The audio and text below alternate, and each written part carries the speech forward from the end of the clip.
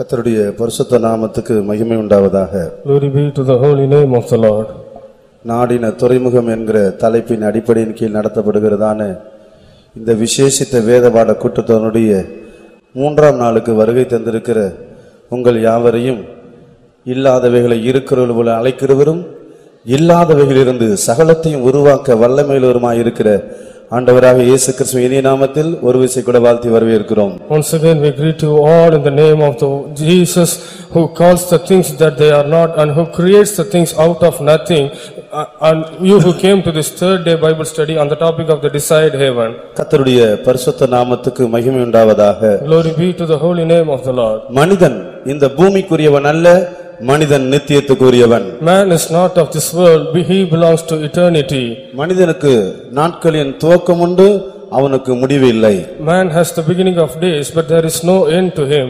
இந்த பூமியிலே மனிதன் தன் கண்களை மூடுகிறான் வேறொரு இடத்திலே தன் கண்களை திறக்கிறான் In this world, man closed his eyes, in another place he opened his eyes. கர்த்தருடைய பரிசுத்த நாமத்துக்கு மகிமை உண்டாவதாக Glory be to the holy name of the Lord. தேவனால் சிருஷ்டிக்கப்பட்ட இந்த உலகம் இன்னும் தேவனால் முடிக்கப்படவில்லை This world which has been created by the Lord, still it is not completed by him. நாம் நித்தியத்தின் விளிம்பில் ஜீவித்துக் கொண்டிருக்கிறோம் We are living at the end of the eternity. இந்த காலம் சபையின் காலம் These days are the days of the இது church. கிருபையின் காலம் This is the dispensation of இது grace. பரிசுத்தாவியானவருடைய காலம் This is the dispensation of the Holy Spirit. இந்த காலத்தினுடைய கடைசி விளிம்பில் நானும் நீங்களும் ஜீவித்துக் கொண்டிருக்கிறோம் You and I are living in the last part of these days. கர்த்தருடைய பரிசுத்த நாமத்துக்கு மகிமை உண்டாவதாக Glory be to the holy name of the Lord. எனவே இந்த கடைசி நிமிஷத்தில் நித்தியத்தின் விளிம்பில் ஜீவித்து கொண்டிருக்கிறதான எனக்கும் உங்களுக்கும் இந்த நாட்களில் ஆவியானவருடைய தேவனுடைய ஒரு பலத்த ஒரு கிரியையும் தொடுதலும் எனக்கும் உங்களுக்கும் முழு சபைக்கும் தேவையாக இருக்கிறது That's why unto you and I who are living at the end of these last days, the touch of the Holy Spirit and the leading of the Holy Spirit is essential for you and as well as for the whole church. இந்த கூட்டத்தின் ஆரம்ப ஜெபத்தில் கேட்டோம் பரிசுத்த ஆவியானவருடைய கிரியை உண்டாக வேண்டும் என்று சொல்லி We heard in the beginning prayer of this meeting, there must be the work of the Holy Spirit. இப்ப நாம் ஒரு நிமிஷம் அதற்காக ஸ்தோத்திரம் பண்ண போகிறோம் Now we are going to praise God, one minute for that. கத்தருக்கு ஸ்தோத்திரம் Praise the Lord. தேவன் கிரியை செய்ய வேண்டும் The Lord should work. மனிதன் கிரியை செய்தால் அது ஒளிந்து போகும் If man work, it will be destroyed. தேவன் கிரியை செய்வாரானால் அதை ஒழித்துவிட ஒரு மனிதனாலும் கூடாது ஒரு சத்துருவினாலும் கூடாது If God works, no enemy or man can destroy that. கத்தருக்கு ஸ்தோத்திரம். Praise the Lord. பிரசங்கியின் புஸ்தகம் மூன்றாம் அதிகாரம் பதினான்காம் வசனத்தை நாம் வாசிக்கும் போது When we read Ecclesiastes chapter 3 verse 14, தேவன் கிரியை செய்கிறது எதுவோ அது என்னென்றைக்கும் நிலைக்கும் என்று சொல்லப்பட்டிருக்கிறது. And it is said, whatsoever the Lord create, it shall abide forever. வாசிங்க. தேவன் செய்வது எதுவோ அது என்றைக்கும் நிலைக்கும் என்று அறிவேன். அதனோடு கத்தருக்கு ஸ்தோத்திரம். Praise be to God. தேவன் செய்வது எதுவோ அது என்றென்றைக்கும் நிற்கும். Whatsoever God doeth, it shall forever. எல்லாரும் சொல்லுங்க பார்க்கலாம். தேவன் செய்வது எதுவோ? தேவன் செய்தது எதுவோ, அது என்னென்றைக்கும் நிற்கும். ஐயோ சொல்றதுக்கு இவ்வளோ பலவீனமா இருக்கிறோமே. And we are feeling so weak to say this. தேவன் செய்வது எதுவோ? அது என்னென்றைக்கும் நிலைக்கும்.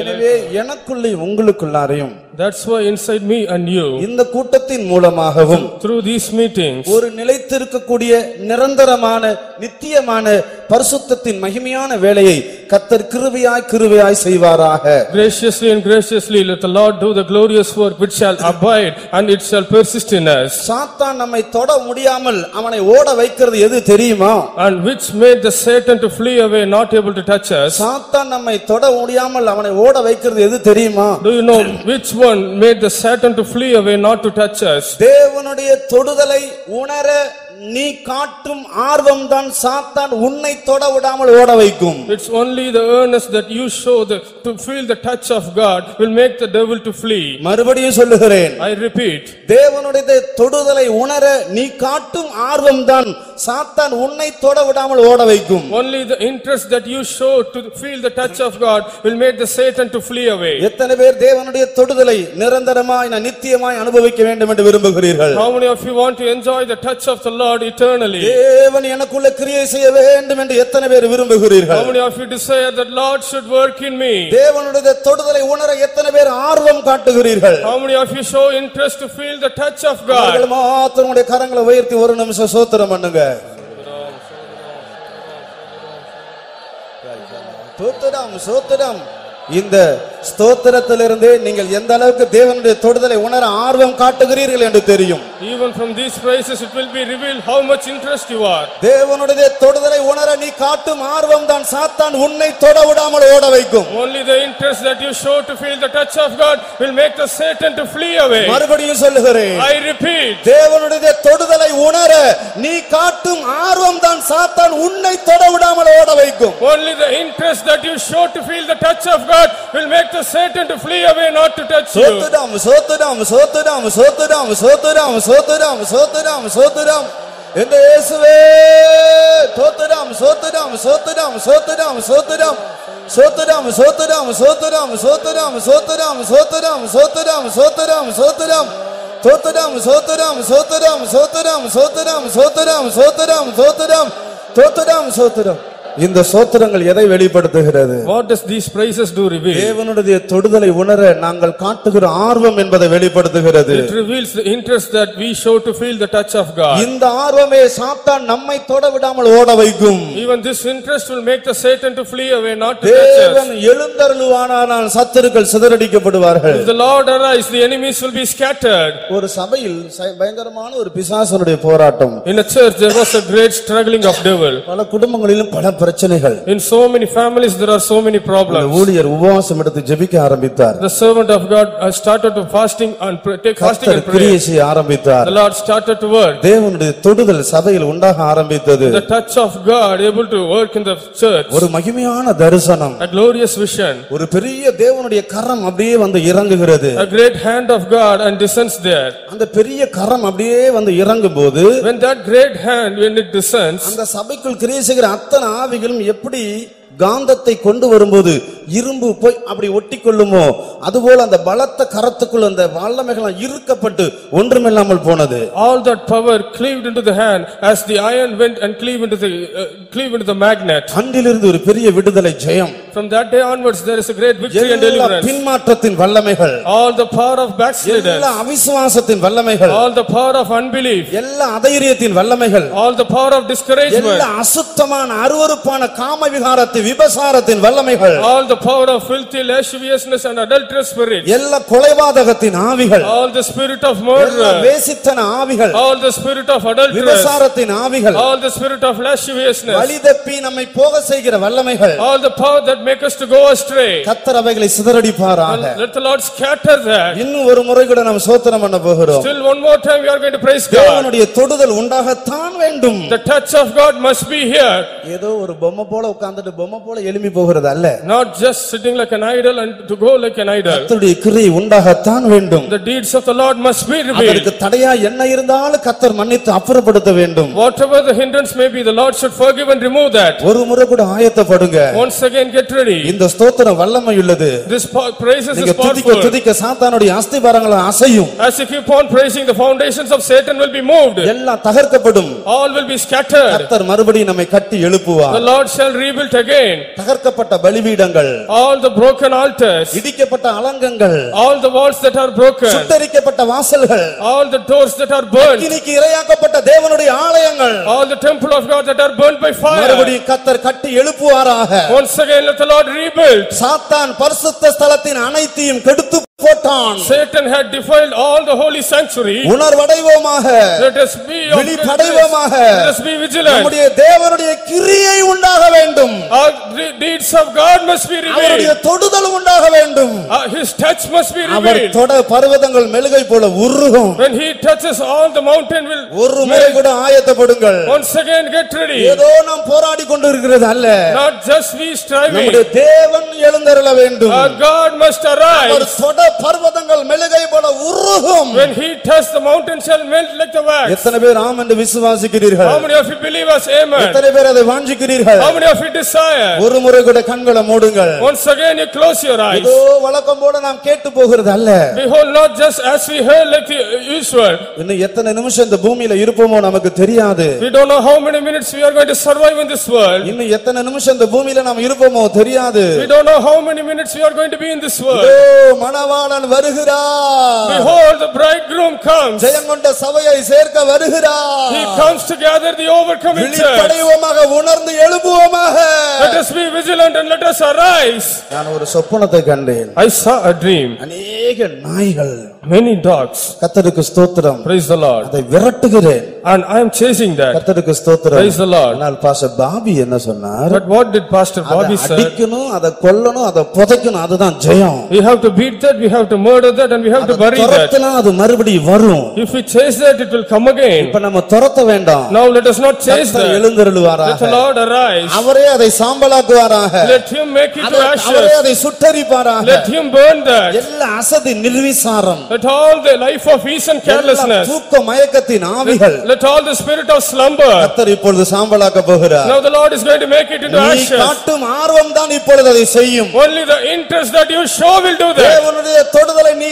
தொடக்க விரும்பும் ஆர்வம் தான் சாத்தான் உன்னை தொட விடாமல் ஓட வைக்கும் Only the interest that you show to feel the touch of God will make the Satan to flee away. கண்களை மூடுவோமாக Let us close our ஒரு eyes. நிமிஷம் கூட ஆயத்தப்படுங்க Let us be ready for one minute. நல்ல கரங்களை உயர்த்தி கண்களை மூடி ஸ்தோத்திரம் பண்ணுங்க lift up your hands and close your eyes and praise God. சோத்திடம் சோத்திடம் சோத்திடம் சோத்திடம் சோத்திடம் சோத்திடம் சோத்திடம் சோத்திடம் என்ற இயேசுவே இயேசுவே நீர் எங்களுக்கு வேணும் நீங்க எங்களுக்கு வேணும் உம்முடைய கிரியை எங்களுக்கு வேணும் உம்முடைய வல்லமை எங்களுக்கு வேணும் உம்முடைய பரிசுத்தம் எங்களுக்கு வேணும் உம்முடைய மகிமை எங்களுக்கு வேணும் உம்முடைய ஜெயம் எங்களுக்கு வேணும். எழுந்தருளும் ஆண்டவரே. சோத்துடாம் சோத்துடாம் சோத்துடாம் சோத்துடாம் சோத்துடாம்.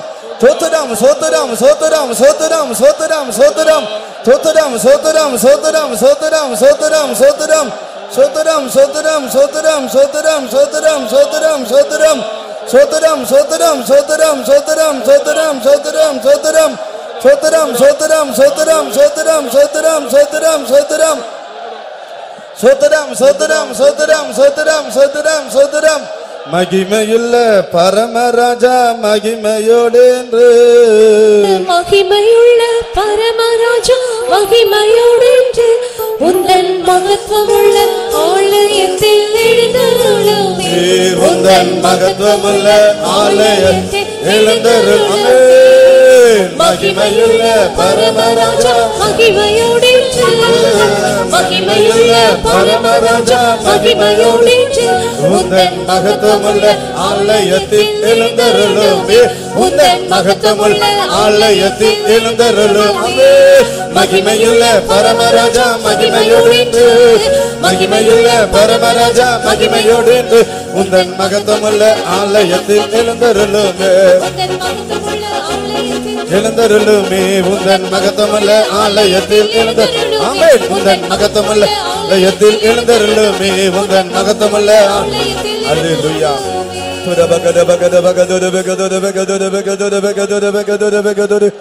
அல்லேலூயா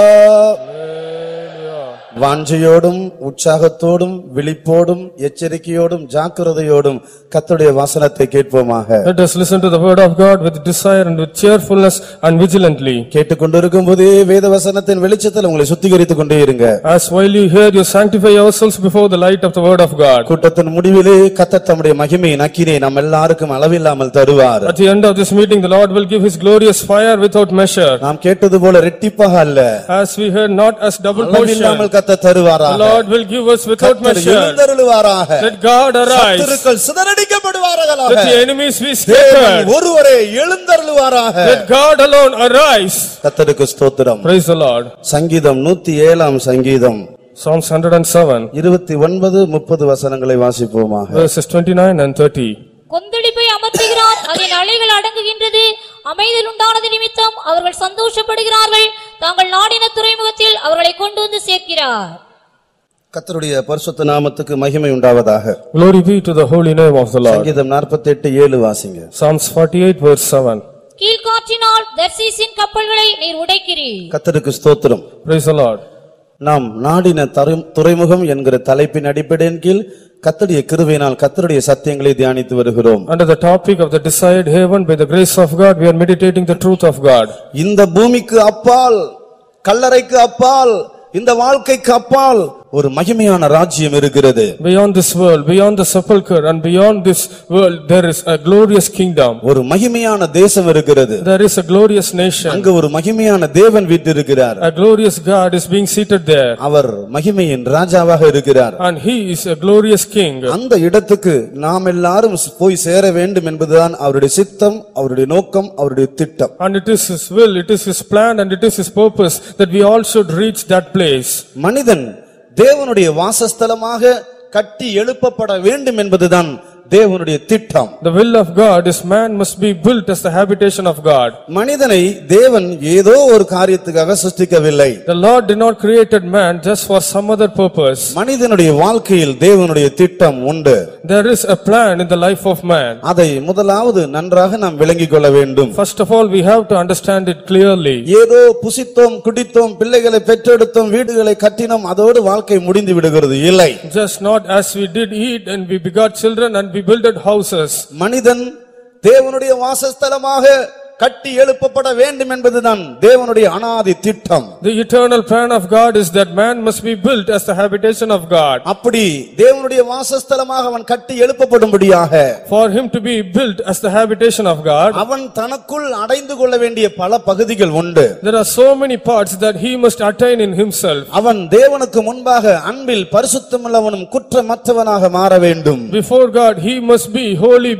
holy without blame and before, without spot. கரை திரை பிழையில்லாத பரிசுத்தம் பிழையற்ற ஒரு மகிமையுள்ள சபையாக அவன் மாற வேண்டும் And he should be changed as a glorious church without spot and blame. மனிதன் தேவனோடு ஒன்றாக்கப்பட வேண்டும் Man must be united with God. இதுதான் தேவனுடைய திட்டம் This is the plan of God. இந்த தேவனோடு ஒன்றாக்கப்பட்ட மனிதன் This man who is united with God, தேவனுடைய வாசஸ்தலமாய் அவன் தன்னை கட்டி எழுப்பிக் கொள்ளுகிறான் he will build himself as a habitation of God. கத்தருக்கு ஸ்தோத்திரம் Praise be to God. இந்த பூமியிலே அவன் தேவனுடைய வாசஸ்தலமாய் அவன் கட்டி எழுப்பப்படாவிட்டால் If in this world, if he is not built as the habitation of God, நித்தியத்திலே அவன் தேவனுடைய வாசஸ்தலத்துக்குள் பிரவேசிக்க முடியாது in the eternity, he can't enter the habitation of God. கத்தருக்கு ஸ்தோத்திரம் Praise be to God. இன்றைக்கு நாம் அவருடைய ஆலயமாக இருக்கிறோம் Today we are his temple. இனி வரப்போகிற நித்தியத்தில் அவர் நமக்கு ஆலயமாக இருப்பார் In the eternity to come, he will be our temple. இன்றைக்கு அவர் நமக்குள் வந்து வாசமாய் இருக்கிறார் Today he is dwelling in us. இனி வரப்போகிற நித்தியத்தில் நாம் அவருக்குள் போய் வாசமாய் இருப்போம் In the eternity to come, we will dwell in,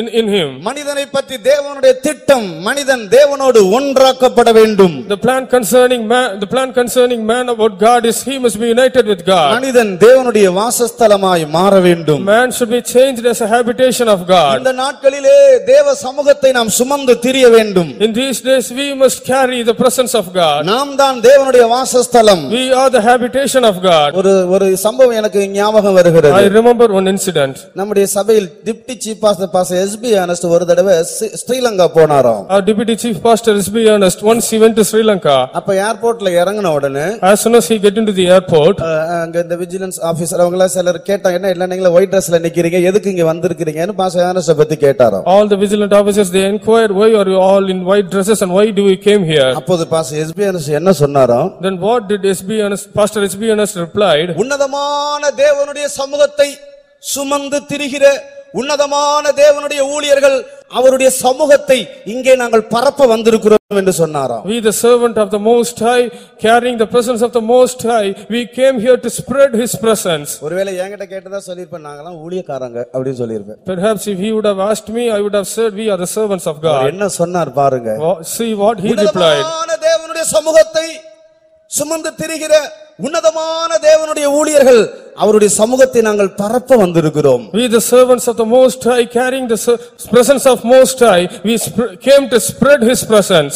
இந்த பூமியில் நம் தேவனுடைய சமூகத்தை சுமந்து திரியாவிட்டால் In this earth, if we won't carry the presence of God, நித்தியத்தில் நாம் அவருடைய சமூகத்துக்குள் பிரவேசிக்க முடியாது in the eternity, we can't enter into His presence. கத்தருக்கு ஸ்தோத்திரம் Praise be to God. நாம் எல்லாருமே இந்த வசனத்தின் அடிப்படையில் ஒரு வாழ்க்கை பிரயாணத்தில் இருக்கிறோம் We all are a li- life journey according to these words. சிலர் பாதி வழியில் இருக்கிறார்கள் Some are in the சிலர் halfway, இப்பொழுதுதான் ஆரம்பித்திருக்கிறார்கள் some just now they have started. நேற்று ஒரு இரவு ஒருவர் சொன்னார்கள் நான் நாடினத்துல கிட்ட வந்துட்டேன் அப்படின்னு சொன்னாங்க Yesterday one said unto me, I reached near to the desired haven. என்னுடைய லக்கு பிரகாசமா இருக்குதுன்னு சொன்னாங்க And he, they said, my goal is br- bright. எப்படியோ நாம் எல்லாரும் ஒரு பிரயாணத்தில் இருக்கிறோம் Somehow we all are in a journey. நம்முடைய வாழ்க்கையில் முடிவில் ரெண்டு காரியத்தில் ஏதாவது ஒன்றை நாம் சந்திக்க வேண்டும் என்று நேற்று கேட்டோம் At the end of our life, we have to meet any one out of two things we heard ஒன்று yesterday. தேவனிடத்தில் பிரதிபலன்களை பெற்றுக்கொள்ள வேண்டும் One thing, we should receive the reward from God. அப்படி இல்லாவிட்டால் தர்சிசன் கப்பலை தேவன் உடைக்கிறது போல தேவனால் நாம் நியாயந்தீர்க்கப்பட வேண்டும் If it is not as the Lord broke the ship of Tarshish, we should be judged by the Lord. கர்த்தருடைய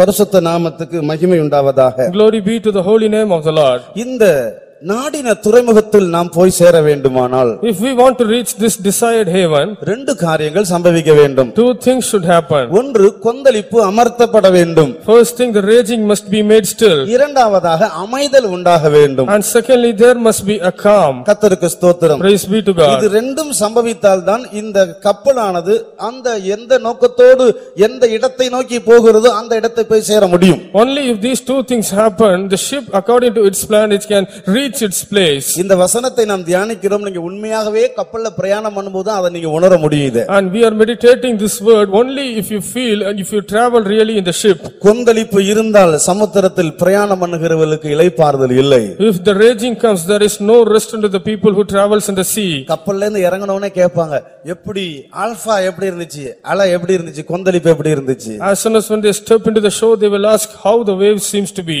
கத்தருக்கு ஸ்தோத்திரம் Praise be to God. கொந்தளிப்பு அமர்த்தப்பட வேண்டும் The raging must be made still. கொந்தளிப்பு என்பது பாவம் என்பதை குறித்தும் பாவத்தினுடைய வல்லமை என்பதை குறித்தும் சில காரியங்களை கிருபையினால் நாம் தியானித்தோம் By grace we meditated, the raging means the sin and the power of sin. இந்த கொந்தளிப்பை அமர்த்தும்படியாக இயேசு சிலுவையில் என்ன செய்திருக்கிறார் என்பதை சிலவற்றை தியானித்தோம் Some we meditated how, what Jesus did in order to make this raging to be still. இந்த பாவத்தின் வல்லமையிலிருந்து மனிதனை விடுதலையாக்கும்படியாக தன்னுடைய சரீரத்தை அவர் பலியாக கொடுத்திருக்கிறார் In order to deliver man out of the sin, he had offered his body as a sacrifice. தன்னுடைய மாம்சத்திலே பாவத்தை ஆக்கினைக்குள்ளாக அவர் தீர்த்திருக்கிறார் And he had condemned sin in his flesh. ரோமர் எட்டாம் அதிகாரம் முதல் இரண்டு வசனத்தில் நாம் அதை வாசிக்கிறோம் In Romans chapter 8, first two verses we do read. இயேசு தன்னுடைய மாம்சத்திலே Jesus in his flesh, in the cross, பாவத்தை மாம்சத்துக்குள்ளாக ஆக்கினை தீர்த்தார் he condemned the sin in flesh. மாம்சத்திலே பாவத்தை ஆக்கினைக்குள்ளாக தீர்த்தார் He condemned the sin in his flesh. அந்த ஜெயம் நமக்கு சொந்தமாக இருக்கிறது That victory belongs to us. நாம் அதை விசுவாசிக்கும் போது While we believe that, அந்த ஜெயம் நமக்கு சொந்தமாக மாறுகிறது that victory becomes our own. அடுத்தபடியாக Nextly, அமைதல் உண்டாக வேண்டும் there must be a calm. கர்த்தருக்கு ஸ்தோத்திரம் Praise be to God. இது பரிசுத்தத்தையும் ஜெயத்தையும் காண்பிக்கிறது This reveals the holiness and victory. கர்த்தருக்கு சித்தமானால் இன்றைக்கு பரிசுத்தத்தை குறித்தும் நாளைக்கு ஜெயத்தை குறித்தும் கிருபையினால் தியானிக்கலாம் If it is the will of God, today the holiness and tomorrow about victory, we can read, we can meditate by the grace of God. கொந்தளிப்பு அமர்த்தப்பட்டால் மாத்திரம் போதாது It's not only enough if the raging is made still, அமைதல் உண்டாக வேண்டும் there must be a calm. கர்த்தருக்கு ஸ்தோத்திரம் Praise be to God. இந்த அமைதலை குறித்து ஒன்று பேதுரு நான்காம் அதிகாரம் முதல் இரண்டு வசனத்தில் நாம் அதை வாசிக்கிறோம் About this calm in first Peter chapter 4, first two verses we can read that. இயேசு மாம்சத்திலே பாடுபட்டபடியினால் As Jesus suffered in his flesh, நாமும் அந்த சிந்தையை ஆயுதமாக தரித்துக் கொள்ள வேண்டும் we too should put that mind as our weapon. மாம்சத்திலே பாடுபடுகிறவன் He who suffered in flesh, மாம்ச சரீரத்தில் உயிரோடு இருக்கிற நாள் அளவும் until he lives in this fleshy body, மனுஷனுடைய இச்சைகளின்படி பிழைக்காமல் not live according to the flesh of people, தேவனுடைய சித்தத்தின்படி பிழைக்கத்தக்கதாக in order to live with the will of God, பாவங்களை விட்டு ஓய்ந்திருப்பான் and let him be rest away from the sin, அமைதியாக இருப்பான் and he should be with இந்த peace. ஆவியிலும் ஆத்மாவிலும் சரீரத்தில் உண்டாகிறது அமைதல் இளைப்பாறுதல் அது பரிசுத்தத்தை காண்பிக்கிறது The peace and the rest that comes in the spirit, soul and body reveals the holiness. பூரண பரிசுத்தம் என்று சொல்லுகிறது ஆவியிலும் ஆத்மாவிலும் சரீரத்தில் உண்டாகிற ஒரு பெரிய இளைப்பாறுதல் The perfect holiness reveals a great rest that comes to the spirit, soul and body. பாவம் என்பது ஒரு கொந்தளிப்பு The sin is a raging, பரிசுத்தம் என்பது ஒரு அமைதல் ஒரு இளைப்பாறுதல் holiness is a calm. calmness and rest. பாவம் என்பது ஒரு இருள் Sin is a darkness. பரிசுத்தம் என்பது ஒரு வெளிச்சம் Holiness is a light. பாவம் என்பது ஒரு சாபம் Sin is a curse. பரிசுத்தம் என்பது ஆசீர்வாதம் Holiness is a blessing. கத்தருக்கு ஸ்தோத்திரம் Praise be to God. பாவங்களை விட்டு ஓய்ந்திருக்கிற ஒரு ஜீவியம் தான் பரிசுத்த ஜீவியம் We need a life of rest away from sin is the holy life. ஆவியிலும் ஆத்துமாவிலும் சரீரத்தில் உண்டாகிற அமைதல் இலைப்பாறுதல் தான் பூரண பரிசுத்தம் The rest and peace that comes to the spirit, soul and body is the perfect holiness. இயேசு கிறிஸ்து தன்னுடைய ஒரே பலியினாலே அதை பரிசு நம்மை பரிசுத்தமாக்கி இருக்கிறார் Jesus Christ by one sacrifice, He made us holy. ஜனத்தை பரிசுத்தம் செய்யும்படியாக நகரவாசலுக்கு புறம்பே அவர் பாடுபட்டார் In order to sanctify the people, He suffered out of the camp. கத்தருக்கு ஸ்தோத்திரம் Praise be to God. இந்த பரிசுத்தம் என்கிற இந்த அமைதல் குலைக்கப்படக்கூடாது This holiness, the rest should not be defiled. கத்தருக்கு ஸ்தோத்திரம் Praise be to God. ஏழு காரியம் பரிசுத்தமாக்கப்பட வேண்டும் Seven thing must be sanctified. அந்த ஏழிலும் பரிசுத்த குலைச்சல் உண்டாகக்கூடாது In that seven things, there must, there should not be the spoil of holiness. அந்த அமைதல் குலைக்கப்படுமானால் If that peace is destroyed, அந்த பரிசுத்தம் குலைக்கப்படுமானால் if that holiness is defiled, நாம் நாடின துறைமுகமாகிய அந்த தேவனுடைய ராஜ்யத்துக்குள் நாம் போய் சேர முடியாது we can't reach the desired haven, which is the kingdom of God. கத்தருக்கு ஸ்தோத்திரம் Praise be to God. சத்துருவாகிய சாத்தான் அநேகருடைய பரிசுத்தத்தையும் இலைப்பாறுதலையும் கெடுத்து போட்டிருக்கிறான் The enemy, the Satan, had defiled the rest of many people. கத்தருக்கு ஸ்தோத்திரம் Praise be to God. வயோதிபர்கள் ஆனாலும் கூட அவருடைய ஜீவியத்தில் பரிசுத்தம் இல்லை Though they may be an old people, there is no holiness in their life. கடந்த வாரத்துல எனக்கு ஒரு லெட்டர் வந்துச்சு In the last week, I received a letter.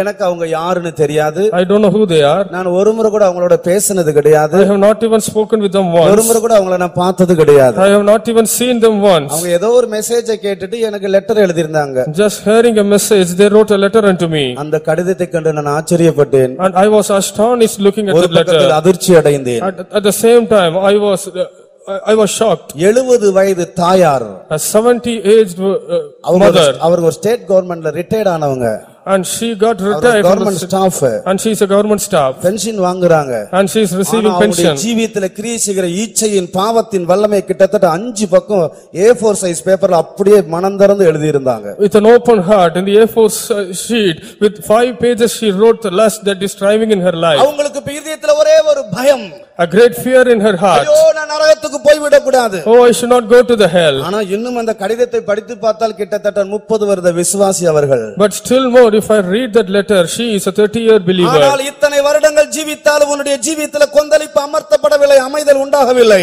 But though living these much years, raging is not made still in your life. சத்தியங்களை கேட்கும்போது ஐயோ நான் எப்படி அந்த ராஜ்யத்துக்குள் பிரவேசிப்பேன் While hearing the truth, oh, how I will enter into the kingdom of யார் God. எனக்கு உதவி செய்வார் என்கிற ஒரு அங்கலாய்ப்பு A great grievous, who shall help me? கத்தருடைய பிள்ளையே O child of உன்னை God, நோக்கி தேவனுடைய வார்த்தை வருகிறது towards you the word of God is coming. அமைதியாக இருக்காது Don't be silent. இரவும் பகலும் தேவனுடைய பரிசுத்தத்துக்காக நாம் கதற வேண்டிய காலங்கள் இந்த காலங்கள் These are the days that we have to cry night and day for the holiness of the Lord. பாவத்துக்கும் பரிசுத்தத்துக்கும் வயது வித்தியாசம் இல்லை There is no age difference for the sin and holiness. இருபது வயதிலும் மகா பரிசுத்தமானாய் தானியேலை போல ஜீவிக்க முடியும் Even in the age of twenty, we can live like Daniel, who is the most holy. தொண்ணூறு வயதிலும் கொடுமையான பாவியாய் ஜீவிக்க முடியும் Even in the ninety age, we can live as a cruel sinner. கத்தருக்கு ஸ்தோத்திரம் Praise be to God. பரிசுத்தம் என்பது வயதின் அடிப்படையில் தேவன் கொடுக்கிறதில்லை கிருபையின் அடிப்படையில் கொடுக்கிறார் Holiness is not being given by the Lord on the aspect of age, He gives under the aspect of grace. கத்தருக்கு ஸ்தோத்திரம் Praise be to God. மறுபடியும் சொல்லுகிறேன் I repeat, பரிசுத்தம் என்பது வயதின் அடிப்படையில் கிடைக்கிறதல்ல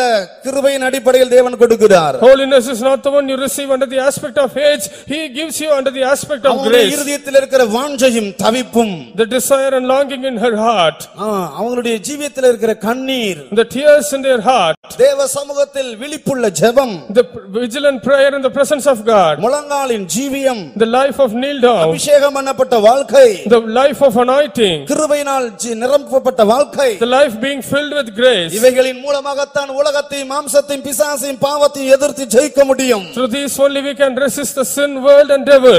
இல்லாவிட்டால் எப்படிப்பட்ட மனிதனை இந்த பாவத்தின் வஞ்சனை அழித்து நரகத்துக்கு கொண்டு போய்விடும் If at all, this sin will deceive any man and it will take him to the hell. பாவம் நம்மை சுற்றி நெருங்கி நிற்கிறது Sin is besetting us.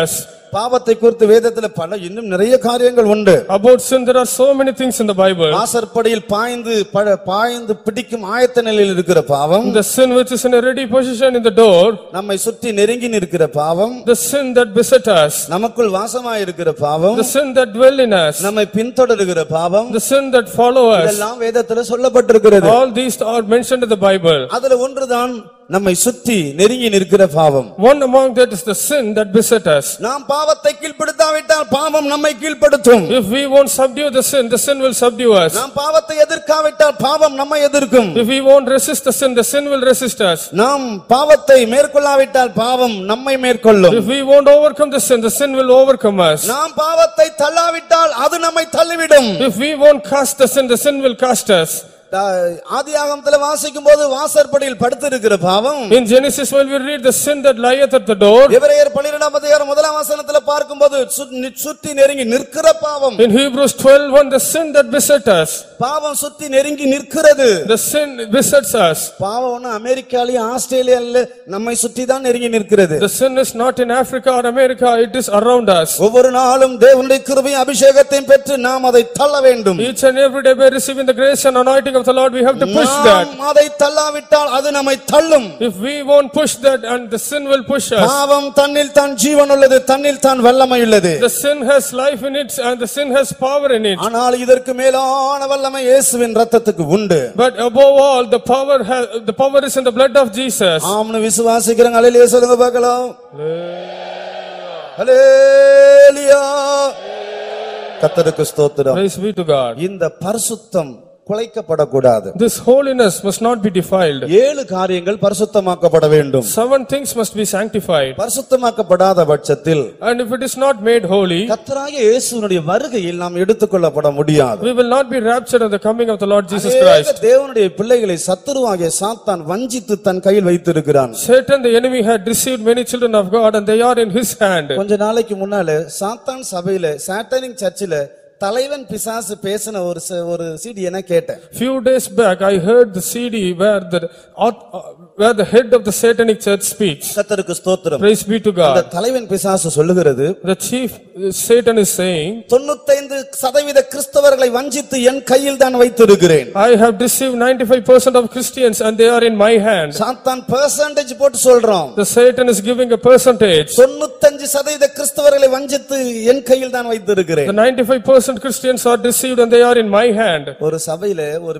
ஒரு பிள்ளைக்கு பிசாசு பிடித்தது In a church, a girl was demon possessed. திடீர்னு காத்திருப்பு கூட அந்த பிள்ளை எழுப்பி நின்னுச்சு All of a sudden, that girl stood up எழுப்பி நின்னு ஒவ்வொருத்தரையும் கரெக்டா சொல்லுது அவங்க யாரு என்ன செஞ்சாங்க எல்லாத்தையும் சொல்லுது and standing, it is pointing out each and everyone who they are and what they had did. பார்த்தாங்க நிலைமை மோசமானதை கண்டு பெரியக்கா அந்த பிள்ளை எடுத்து அவங்க அவங்க ரூமுக்கு கூட்டிட்டு போயிட்டாங்க And looking at the situation becoming worse, the elder sister took her to her room. தொண்ணூத்தஞ்சு சதவீத கிறிஸ்துவர்களை வஞ்சித்து என் கை கையில் வைத்துக்கிறேன் என்று சாத்தான் சொல்லிக் கொண்டிருக்கிறான் The Satan is saying that I had deceived ninety-five percent of Christians and they are in my hand. சமூகம் இல்லாத ஒரு வாழ்க்கை சாத்தானால் வஞ்சிக்கப்பட்ட ஒரு வாழ்க்கை The life without presence of God is a life being deceived by Satan. தேவ மகிமை இல்லாத ஒரு வாழ்க்கை சாத்தானால் வஞ்சிக்கப்பட்ட வாழ்க்கை The life without glory of God is a life being deceived by God, man. தேவனுடைய ஆசீர்வாதங்கள் இல்லாத ஒரு வாழ்க்கை சாத்தானால் வஞ்சிக்கப்பட்ட ஒரு வாழ்க்கை The life without the blessings of God is a life being deceived by Satan. தேவனை விட்டு நம்மை பிரித்து விட்டாலே சாத்தான் ஜெயித்து விட்டான் Even if he separate us from God, Satan had overcame. பெரிய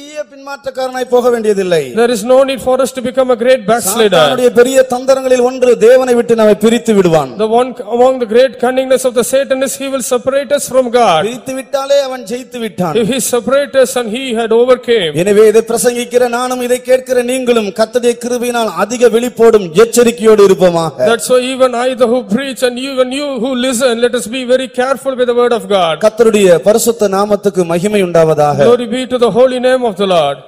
ஒரு நாள் ஒரு ஒரு ஒருவருக்கு பயங்கரமான பிசாசு பிடித்திருந்தது One day, one person was demon possessed. அப்போ ஒரு டீச்சர்ஸ் பிரேயர் நடந்து கொண்டு இருந்தது At that time, teacher's prayer was conduct, was teachers going எல்லாம் on. ரவு- டீச்சர்ஸ் எல்லாம் ரவுண்டா உட்கார வச்சுட்டு அந்த ஆளை நடுவுல உட்கார வச்சாச்சு I made all the teachers to sit around, I made that person to sit in between. என்ன நினைச்சது What it thought, டீச்சர்ஸ் எல்லாம் ஃபயர் அனாயிண்டிங்ல இருப்பாங்க எல்லாரும் சேர்ந்து ஜெபிச்சா அந்த பிசாசு ஓடிடும் and I thought if all the teachers with the full anointing, if they pray, the devil will flee away. எல்லாரும் ஜெபிச்சாங்க They all prayed. உடனே அந்த பிசாசு எழுப்பி சொல்லுது இவங்க எல்லாம் என்ன காட்டிலும் மோசமானவங்க இவங்க எனக்கு ஜெபிக்க வந்திருக்கிறாங்க All of a sudden, the devil stood up and said, "They are worse than me, but they came to pray for me." பிசாசு இவங்க எல்லாம் என்ன காட்டிலும் மோசமானவங்க எனக்கு ஜெபிக்க வந்திருக்கிறாங்க என்ன தரத்தை The Satan is saying, "They are more worse than me, but they came to pray for me." அப்ப அந்த பிசாசு அந்த ஊழியர்ப்பா சொல்லுது இவங்களெல்லாம் போக சொல்லு நான் போறேன் Then the Satan said, "Ask them to go away, then I will go." கர்த்தருக்கு ஸ்தோத்திரம் Praise be to God. நம்முடைய ஜீவியத்தை சாத்தானாலும் குற்றம் சாட்டப்படாத ஒரு ஜீவியத்துக்கு வரும்படியாக கத்தர் எனக்கு உங்களுக்கு கிருபை செய்வாராக That the Lord give grace unto you and me in a place that we have to come, even the devil can't accuse us. பரிசுத்தம் என்பது எவ்வளவு முக்கியமான ஒரு காரியம் என்பதை கிருபையினால் தியானிப்போமாக By grace, let us meditate how important the holiness is. முழு பரலோகமும் The whole uh, heaven பிதா குமாரன் பரிசுத்தாவியானவரும் and the, the Father, Son and the Holy Spirit. அவர்கள் முக்கியப்படுத்துகிற ஒரே ஒரு காரியம் தேவனுடைய பரிசுத்தம் One thing what they insist is the holiness of God. முழு பரலோகத்திலும் இரவும் பகலும் சத்தம் கேட்டுக்கொண்டே இருக்கிறது In the whole heaven, night and day, a voice is being heard. சேனைகளின் கத்தர் பரிசுத்தர் சேனைகளின் கத்தர் பரிசுத்தர் என்கிற ஒரு சத்தம் Holy, holy is the Lord of hosts, holy, holy is the Lord of hosts. முழு பரலோகமும் அவருடைய பரிசுத்தத்தை துதித்துக் கொண்டே இருக்கிறது The whole heaven is praising His holiness. மனிதன் தேவனுடைய பரிசுத்தத்துக்கு பங்காளியாய் மாற வேண்டும் என்றுதான் இயேசு இந்த பூமிக்கு வந்தார் Jesus came to this world for man to be the partaker of His holiness. எனவே இந்த நாட்களில் கிருபையினால் நானும் நீங்களும் பரிசுத்தத்தின் மேல் பரிசுத்தத்தடைய தேவன் கிருபை செய்வாராக That's why in these days let the Lord show us grace for us to move on holiness after holiness. கத்தருக்கு ஸ்தோத்திரம் Praise be to God. முதலாவது தேவனுடைய நாமம் பரிசுத்தமாக்கப்பட வேண்டும் First of all, the name of the Lord must be made holy. நம் மூலமாக தேவனுடைய நாமம் ஒவ்வொரு நாளும் பரிசுத்தமாக்கப்பட வேண்டும் Through us, each and every day, the name of the Lord must be sanctified. நம் மூலமாக தேவனுடைய நாமம் பரிசுத்த குலைச்சலாக்கப்படுமானால் If through us the name of the Lord is defiled, அதை அதற்கு உண்டான தண்டனைகள் எல்லாம் வேதத்துல சொல்லப்பட்டிருக்கு அதை பத்தி தியானிக்க நமக்கு சமயம் இல்லை all the punishments for that are mentioned in the Bible, no time to meditate about that. முதலாவது நம் மூலமாய் தேவனுடைய நாமம் பரிசுத்தமாக்கப்பட வேண்டும் First of all, through us, the name of the Lord must be made holy. இந்த அமைதல் என்று சொன்னால் என்ன What is meant by this calmness? தேவனுடைய நாமம் நம் மூலமாய் பரிசுத்தமாக்கப்பட்டு கொண்டே இருக்கிறது அந்த அமைதல் The name of the Lord, we keep on being made holy is that calmness. அந்த நாடின துறைமுகத்துக்கு போய் சேர வேண்டுமானால் If we want to reach that desired heaven, முதலாவது நம் மூலமாய் கர்த்தருடைய நாமம் பரிசுத்தமாக்கப்பட வேண்டும் first of all, through us, the name of the Lord must be made holy. மத்தேயு ஆறாம் அதிகாரம் ஒன்பதாம் வசனத்தில் கத்தராய இயேசு கிறிஸ்து பரமண்டலங்களின் ஜெபத்தை சீஷர்களுக்கு சொல்லிக் கொடுத்தார் In Matthew chapter 6 verse 9, that Jesus taught the disciples how they have to pray towards the heavenly Father. பரமண்டலங்களில் இருக்கிற எங்கள் பிதாவே O heavenly Father, உம்முடைய நாமம் பரிசுத்தப்படுவதாக let thy name be sanctified. கத்தருக்கு ஸ்தோத்திரம் Praise be to God. முதலாவது சொல்லப்பட்ட முதல் ஜெபம் முதல் வார்த்தை உம்முடைய நாமம் பரிசுத்தப்படுவதாக The first word that came through the first prayer is, let thy name be made holy. நம் மூலமாய் தேவனுடைய நாமம் பரிசுத்தமாக்கப்பட வேண்டும் Through us, the name of the Lord must be made holy. நம் மூலமாய் தேவனுடைய நாமம் பரிசுத்த குலைச்சலாக்கப்பட்டால் If uh, through us, the name of the Lord be defiled, அந்த சமுத்திரத்தின் அமைதல் குலைக்கப்படும் the calmness of the sea will be troubled. அந்த நாடின துறைமுகத்தை போய் சேர முடியாது We can't reach the desired haven. கத்தருக்கு ஸ்தோத்திரம் Praise be to God. லேவியராகம இருபத்தி இரண்டாம் அதிகாரம் In Leviticus chapter 22, இரண்டாம் வசனத்தை வாசிக்கும் போது when we read verse 2, அங்கே சொல்லுகிறார் ஆண்டவர் என் நாமத்தின் பரிசுத்தம் எப்படி குலைக்கப்படலாம் the Lord says, how the name of my holiness shall be defiled. கத்தருக்கு ஸ்தோத்திரம் Praise be to God. வாசிங்க இஸ்ரவேல் புத்திரர் எனக்கென்று நியமித்து செலுத்துகிற பரிசுத்த வஸ்துகளை குறித்து ஆரோனும் அவன் குமாரரும் என் பரிசுத்த நாமத்தை பரிசுத்த குலைச்சல் ஆக்காதபடிக்கு எச்சரிக்கையாய் இருக்க வேண்டும் என் பரிசுத்த நாமத்தை பரிசுத்த குலைச்சலாக்காதபடிக்கு எச்சரிக்கையாயிருப்பார்களாக. Let them be careful that they should not profane my holy name. அந்த பகுதியை மாத்திரம் மறுபடி வாசிங்க.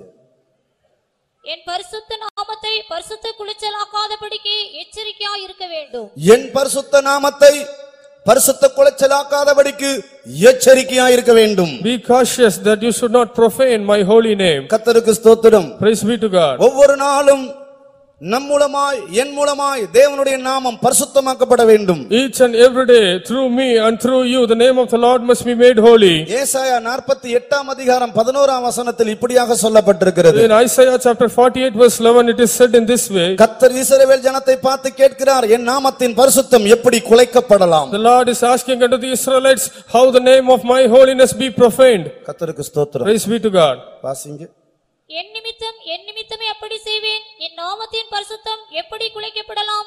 என் மகிமையை நான் வேறு ஒருவருக்கும் கத்தருக்கு ஸ்தோத்திரம். Praise be to God. என் நாமத்தின் பரிசுத்தம் எப்படி குலைக்கப்படலாம்? How should my name be polluted? ரோமர் இரண்டாம் அதிகாரம் இருபத்தி நாலாம் வசனத்திலே வாசிக்கும் போது When we read Romans 2:24, பரிசுத்த பவுல் சொல்லுகிறார் புறஜாதிகளுக்குள்ளே உங்கள் மூலமாய் தேவனுடைய நாமம் தூசிக்கப்படுகிறது Saint Paul says, among the Gentiles, because of you the name of the Lord is profaned. குறிப்பிட்ட யூத ஜனங்களுக்காக பவுல் அந்த நிருபத்தை எழுதுகிறார் To the particular Jewish people, Paul wrote that epistle. உங்கள் மூலமாய் புறஜாதிகளுக்குள்ளே தேவனுடைய நாமம் தூசிக்கப்படுகிறது Because of you among the Gentiles, the name of the Lord is blasphemed. தேவனுடைய நாமம் பரிசுத்தமாக்கப்படுகிறதுன்னு சொன்னால் என்ன அர்த்தம் What is the meaning? The name of the Lord must be made holy. ஒவ்வொரு நாளும் நம்முடைய ஜீவியத்தில் நம் மூலமாய் தேவனுடைய நாமம் பரிசுத்தமாக்கப்பட வேண்டும் Each and every day through us, the name of the Lord must be made holy. இன்றைக்கு நம்முடைய நாமத்தை பாதுகாக்கிறதுல ரொம்ப ஜாக்கிரதையா இருக்கிறோம் ஆண்டவருடைய நாமம் எப்படி போனாலும் கவலை இல்ல Today we are very careful in preserving our name, no matter how the name of the Lord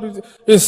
சிலர் தங்களுடைய நாமத்தை பாதுகாக்க முடியாத சிலர் கிறிஸ்தவர் இல்லை என்று பொய் சொல்லுகிறவர்கள் இருக்கிறார்கள் There are some people, they are lying that they are not Christians in order to preserve their name. கர்த்தருக்கு ஸ்தோத்திரம் Praise be to God. நம் மூலமாய் தேவனுடைய நாமம் பரிசுத்தமாக்கப்படுதனால் என்ன அர்த்தம் What is the meaning? Through us, the name of the Lord must be holy. கர்த்தருக்கு ஸ்தோத்திரம் Praise be to ஒரு God. உதாரணத்தை சொல்லுகிறேன் I tell you one நான் example. ஊழியம் செஞ்ச ஒரு சபையிலே ஒரு விசுவாசி நல்ல ஒரு வேலையில இருந்தார் And while I was serving in a particular church, a believer was in a good job. ஆ, நல்ல ஒரு பெரிய வேலை நல்ல ஒரு நல்ல ஒரு வேலையில ஒரு நல்ல பதவியில ஒரு மனுஷன் And he was in a good job, in a good status. அவருடைய ஆபீஸ்ல ஒரு நாள் இரவு எல்லாம் திருட்டு போயிடுச்சு In his office one night, everything was stolen. ஆனா அவருடைய செக்ஷன் அவருடைய டேபிள்ல மாத்திரம் ஒரு பொருள் எடுக்கப்படல எல்லாம் அப்படியே இருந்துச்சு But in his table and in his section alone, none of the material was stolen. நான் என்னையும் அவர் அதற்கு பிறகு அந்த ஆபீஸ் கூட்டிட்டு போனார் நான் அந்த ஆபீஸ போய் பார்த்தேன் And he took me also after that to that office, even I also visited the office. ஆபீஸ்லயும் திருட்டு போயிருக்குது All over the office was ஆனா stolen. இவருடைய டேபிள்ல மாத்திரம் ஒன்றுமே எடுக்கப்படல But nothing was stolen from his table. அந்த ஆபீஸ்ல இருக்கிற எல்லாரும் என்ன சொன்னாங்க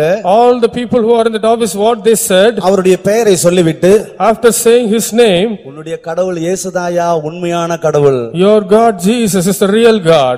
அங்கே தேவனுடைய நாமம் பரிசுத்தமாக்கப்படுகிறது There the name of the Lord is made holy. தேவனுடைய நாமம் பரிசுத்தமாக்கப்படுகிறது There the name of the Lord is made holy. அல்லேலூயா. கர்த்தருக்கு ஸ்தோத்திரம் Glory be to God. நாம் குடியிருக்கிற இடங்களிலே In the place where we dwell, வேலை செய்யற இடங்களிலே in the place where we work, படிக்கிற இடங்களிலே the place where we study, நம்முடைய சொந்தக்காரர்கள் மத்தியிலே amidst our relatives, நம்முடைய சபையின் மத்தியிலே amidst our church, நம்முடைய வார்த்தைகள் our words, நம்முடைய பேச்சுக்கள் our speech, நம்முடைய கிரியைகள் our deeds, நாம் வெளிப்படுத்துகிற சுபாவங்கள் our characters that we reveal. இவைகளின் மூலமாய் தேவனுடைய நாமம் பரிசுத்தமாக்கப்படுகிறதா அல்லது தேவனுடைய நாமம் தூசிக்கப்படுகிறதா Through this is the name of the Lord is made holy or it is being blasphemed. நான் ஒரு இடத்துல ஒரு விசுவாசியை பத்தி அவங்க குடியிருந்த வீட்டுக்கு பக்கத்து வீட்டுக்காரங்க வந்து என்கிட்ட கம்ப்ளைண்ட் பண்ணாங்க In one place to the neighbor house of the believer, they came and complained to me. அவங்க பக்கத்துல குடியிருந்தவங்க ரட்சிக்கப்படாத மனிதர்கள் Those who are dwelling nearby are the unsaved people. என்கிட்ட ஒரு வார்த்தை சொன்னாங்க They said unto me a one word, தயவுசெய்து உங்க விசுவாசிய பைபிள் மாத்திரம் எடுத்துட்டு உங்க சர்ச்சுக்கு வர வேண்டாம்னு சொல்லுங்க please ask your believer not to carry the Bible and to come to the இப்பொழுது church. தேவனுடைய நாமம் பரிசுத்த குலைச்சலாக்கப்பட்டுடுச்சு Now the name of the Lord has been profaned. பெரிய பாவம் செய்ய வேண்டாம் Don't need to, no need to உன் do. மூலமாய் தேவனுடைய நாமம் பரிசுத்த குலைச்சலாக்கப்படுமானால் அந்த நாடின துறைமுகத்தை போய் சேர முடியாது If the name of the Lord is profaned through you, you can't reach a desired haven. அது ஊழியர்களா இருந்தாலும் சரி விசுவாசிகளா இருந்தாலும் புதிய ஆத்துமாக யாரா இருந்தாலும் சரி Whether it may be the servant of God or the believer or the new soul, அது எத்தனை whoever. வருடங்கள் அனுபவங்களுக்கு இருந்தாலும் சரி the people who are with more experience, உன் மூலமாய் என் மூலமாய் தேவனுடைய நாமம் பரிசுத்த குலைச்சலாக்கப்படுமானால் through you and through me, if the name of the Lord is profaned, கத்தர் எச்சரிக்கிறார் the Lord is warning. ஆரோனை மோசையும் பார்த்து சொல்லுகிறார் The Lord looking unto Aaron and Moses N says, பரிசுத்த நாமத்தை பரிசுத்த குலைச்சலாக்காதபடி எச்சரிக்கையாயிருங்கள் Be cautious, do not profane my holy name. கத்தருக்கு ஸ்தோத்திரம் Praise be to God.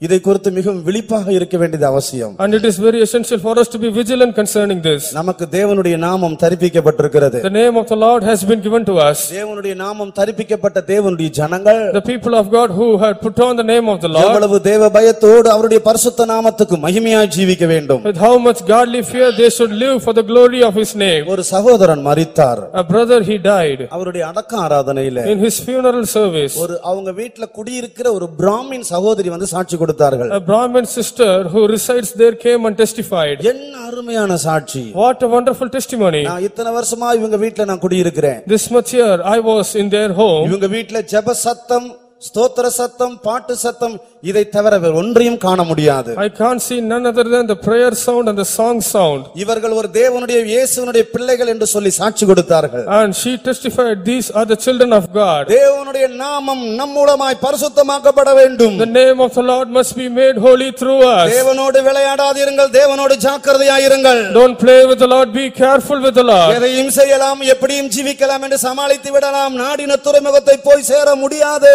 Don't think that we can manage by doing anything and by living however. செத்து செத்து அடக்கம் பண்ணவங்க எல்லாம் பரலோகத்து போய் சேர்ந்தாங்க நம்பாதீங்க Don't believe that all those who are buried have reached the heaven.